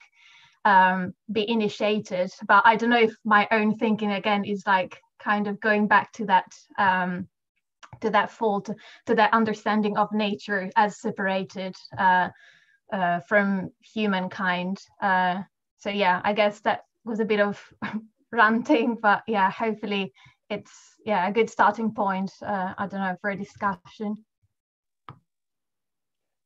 Maybe I'll, I'll respond a little bit on the um, connection to um, Chinese art history. Of course, you know, probably many of you here know that I'm not trained in Chinese art history or Chinese art. I went to the I went to the U.S. Um, when I started university, so I always feel a bit guilty that I know more about uh, Western painting history, you know, uh, Velázquez, Goya, etc., than Chinese painting history. I think only after I started to work with plants, I started to realize, you know, one day I was in the Shanghai Museum um, looking at a painting, I forgot which painter, uh, Chinese painting. And then I realized that the willow tree in that painting is a wild willow tree rather than a willow tree in a garden or a park because I became more sensitive to the forms of plants and you know um, the difference between uh, the same species in different situations. I'm sure pre-modern Chinese artists had much more um, you know, um, heightened sensibilities with plants. So for them, something that uh, one person is painting can be read quite easily by other contemporaries. The other thing, I mean, another thing I, I, you know, it's on my notes. I just haven't got time to do, but it's kind of a hypothesis. I was talking to some people at China Academy of Art when I was teaching there. Uh, I was curious whether Chinese artists early on actually painted uh, a much more diverse set of um, plants than later time when the painting language became much more stable and the, um, the number of species also became more stable. Um, one of the early paintings I saw, it's in the exhibition in the Gugong, in the Palace Museum. Um, I forgot the painter again. I, I think it's a, it's a, uh, it's a pre-Song painting. Um, the painter actually painted uh, dandelion in the Chinese painting. Uh, I can look up in, it's in my notes somewhere. So early on, of course, Chinese artists also painted these weeds, so-called weeds. And um, I think when um, Professor Jiang was talking about huaniao, birds and flowers, it may actually be related to the urbanization of Song Dynasty and Ming Dynasty, right? So when, for example, when I go to Suzhou, now I really, if, if you if you go to the gardens in Suzhou, the earlier gardens in Suzhou are kind of outside the city. They have more of a rustic, um, um, more of a rustic uh, feel. And then as the, the, the, the gardens move into the central areas, they become much more controlled and much more condensed and much more uh, shaped. So I start to feel um, maybe, you know, I'm hoping someone, I mean, definitely not myself, but I'm hoping some PhD students or uh, other scholars will look at Chinese art history now with a different perspective, you know, really combining environmental humanities and also perhaps uh, ecological research to look at the paintings and to look at art history from sort of more um, plant-centric, but also um, sort of uh, paying more attention to the natural sciences have already discovered. I actually feel that um, this is probably, if we can actually do this, this will be closer to the actual experiences of the Chinese artists in pre-modern time because they probably possess a lot of knowledge of plants. I have a PhD student, she's working on uh, Jiu Huang Ben Cao, Ming Dynasty feminine herbal, right? So I've also, I mean, I also did artwork on based on this. So there's a lot of things that um, we actually need to re-examine uh, in art history. You know, I, I, I stopped kind of doing research projects. Now I'm just mainly focusing on my practice. I like Joshua said, now I actually feel there's a stronger connection between me and pre-modern Chinese art. Um, you know, I feel happy that finally I started to draw trees. Um, I started to appreciate how pre-modern Chinese painters uh, look at plants and uh, express their relations with plants. So I actually feel the ecological turn is probably helping us to see Chinese art history better. Think Stephanie has a question next. Yes, I'm here.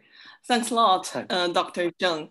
Actually, my question is quite similar to the previous one, and it's also about literary artists, but the, that's gonna be, will you see yourself as a contemporary literary artist? Because I see you did a lot of, um, you know, uh, self-reflective methodology in your research plan and research, and then, you know, a little bit for me it's a little bit liter- literally artists should do or should have some certain kind of self like a reflective uh, kind of methodology. So what do you see about that? And the second question gonna be um, do you see there is any you know relationship between being a contemporary literary artist to attend any kind of biennale? Because i know you attend so many and then i really appreciate your works uh, it gave it gave me a lot of inspiration. So maybe you can answer my question. That's it.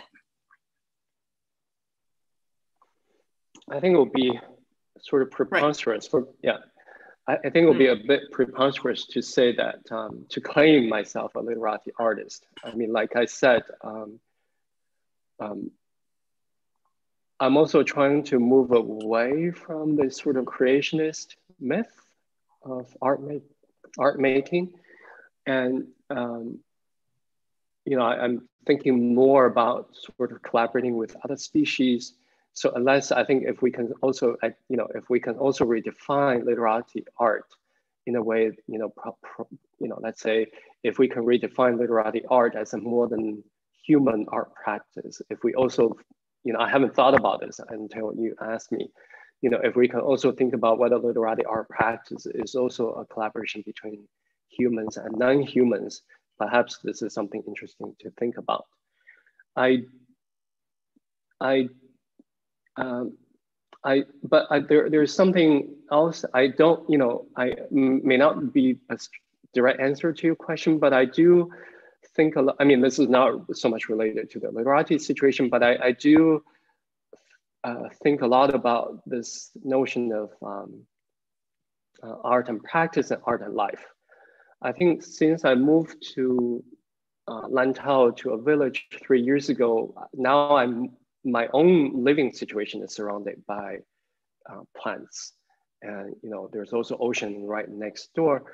So I my own life becomes more embedded with other uh, with other species, with other forms of life. I think this is quite important to really uh, practice what we preach. I think it's, of course, it's very difficult. It's kind of related to the second question you raised about me participating in biennials, right? Um, you know, I, I, like I said, the, the my, my biggest, um, my biggest negative contribution to the climate um, crisis is flying, right? So I, I, I think the more I dive deeper into the ecological practice, the more guilty I feel. So I also um, really try very hard, try to reduce it. But of course, I still flew from Hong Kong to Berlin this year. Um, I probably will fly um, again next year, but I will try to cut down as much as possible. I'm also trying to uh, reduce the um, kind of the material impact. I didn't talk about this. Um, I mean, there are also other projects I've been doing to try to think about how to link the art uh, production exhibition cycle into the ecological cycle. Okay, so there's projects where we compost drawing, for example, as a very small gesture to link these two issues.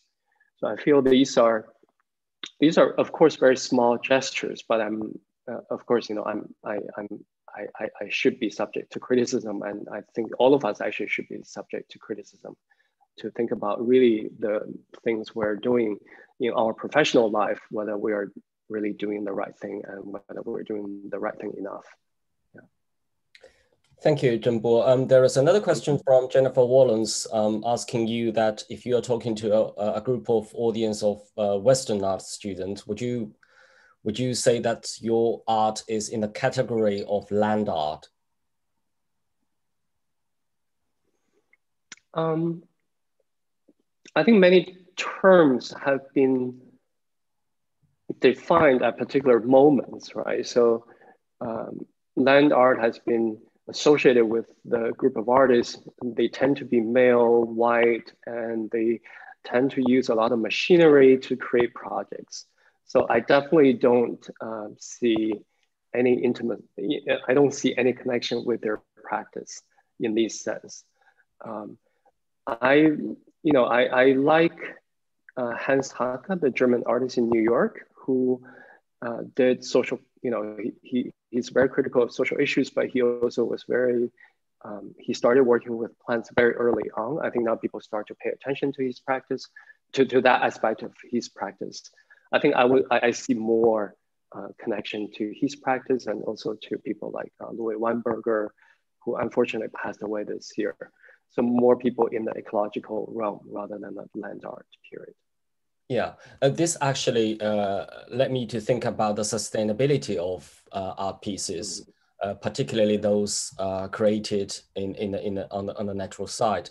I actually got an email this morning, very early in the morning, um, an email from um, an organization in Australia asked me to nominate um, some uh, two to three public, they call it public art project, public RPs um, um, as the best public art project in 2020. Mm-hmm. And they know that uh, we worked on the Thailand Biennale and to see whether there's any work still surviving uh, in 2020. And this actually gave me a, such a critical um, um, um moment to think, you know, whatever we created uh, mm-hmm. in 2018, 2019, uh, two years ago, is there any work can still sustain uh, in such um, uh, a sort of uh, context? And this um, is important, um, particularly uh, for artists um, and curators to think about um, and how do we work with the nature and how do we care uh, about the ecology around us. Um, so before we close, is there any final questions? If we Howie has one final question. Okay. Um, hello, is this um, can you hear me? Yes. Mr. Jing. Yeah. Um, thank you for the talk and um I have been following your work for a long time. Actually, also a good friend was in the video of your Taiwan films. And um, I was wondering because previously I started following your research about social engaged art when you were conducting that in the in Hong Kong, and I think you you mentioned it's related to like your answer to the land art, uh, like you mentioned like these terms are related to certain histories and group of artists, um, but um, I'm quite um, um, curious about like kind of your um, like your interest like from in, in the ecology kind of have I feel has like a, a, a root in the social engagement, and especially I really like your work that you did about the um, 住在上海的植物 that's plants living in Shanghai, and uh, I was quite curious like how now uh, at this time how do you think of like this discourse around social engagement and also um, and now you're more talking about eco and wondering like how does does this um, discourse still play an effect and in what way in your current practice and also in the future Yeah thank you yeah um, I'll, I'll, try to be quick um, um so the, uh, the, the example I talk about in Kyoto kind of deals with this a little bit to think about uh, social justice with uh, ecological justice. Um, try to link my experience in social practice with uh, the current interest in plants. So by you know by organizing workshops and also by embedding the project in a more disenfranchised community, Um, so the social equality issue and then the uh, ecological equality issue can be linked. And I think people, but of course, most of my projects are now, you know, it, um, um, I'm more thinking about plants. So, so much more than I actually don't really have a lot of um, time spending spent on social issues. I think people like TJ Demos at uh, UC Santa Cruz, his uh, research and in the in the US situation, they really focus on uh, political ecology. They really try to foreground um, um, social justice and ecological justice. So perhaps their works will answer your question more um, comprehensively. I think in China, uh, you know, just to finish, um, I think in China, social social practice has received a lot of attention over the past 10 years. Um, I think ecological practice is starting to get more uh, discussion and I feel there's a lot more to do. I mean, it's, it's my own interest, but it's also my uh, sense of the field that, um, you know, we're spending more time on, on the ecological issues. Thank you very much, uh, Zheng Bo, for uh, the morning um, keynote speech. And uh, please do join us if you can in the afternoon. And we thank um, the uh, morning uh, panelists as well as well as uh, David Roberts, uh, the panel chair. And we will have uh, roughly an hour's break and we will come back just before one o'clock UK time. Um, that's, um, what is it, nine o'clock China time. Thank you very much all for your participation and we will see you later uh, in the afternoon. Bye-bye. Thanks, everyone. Um, I'll uh, turn, uh, you can reconvene maybe from about uh, 10 to 3. I'll uh, reopen the Zoom. Thanks so much, everyone. 10 to 1.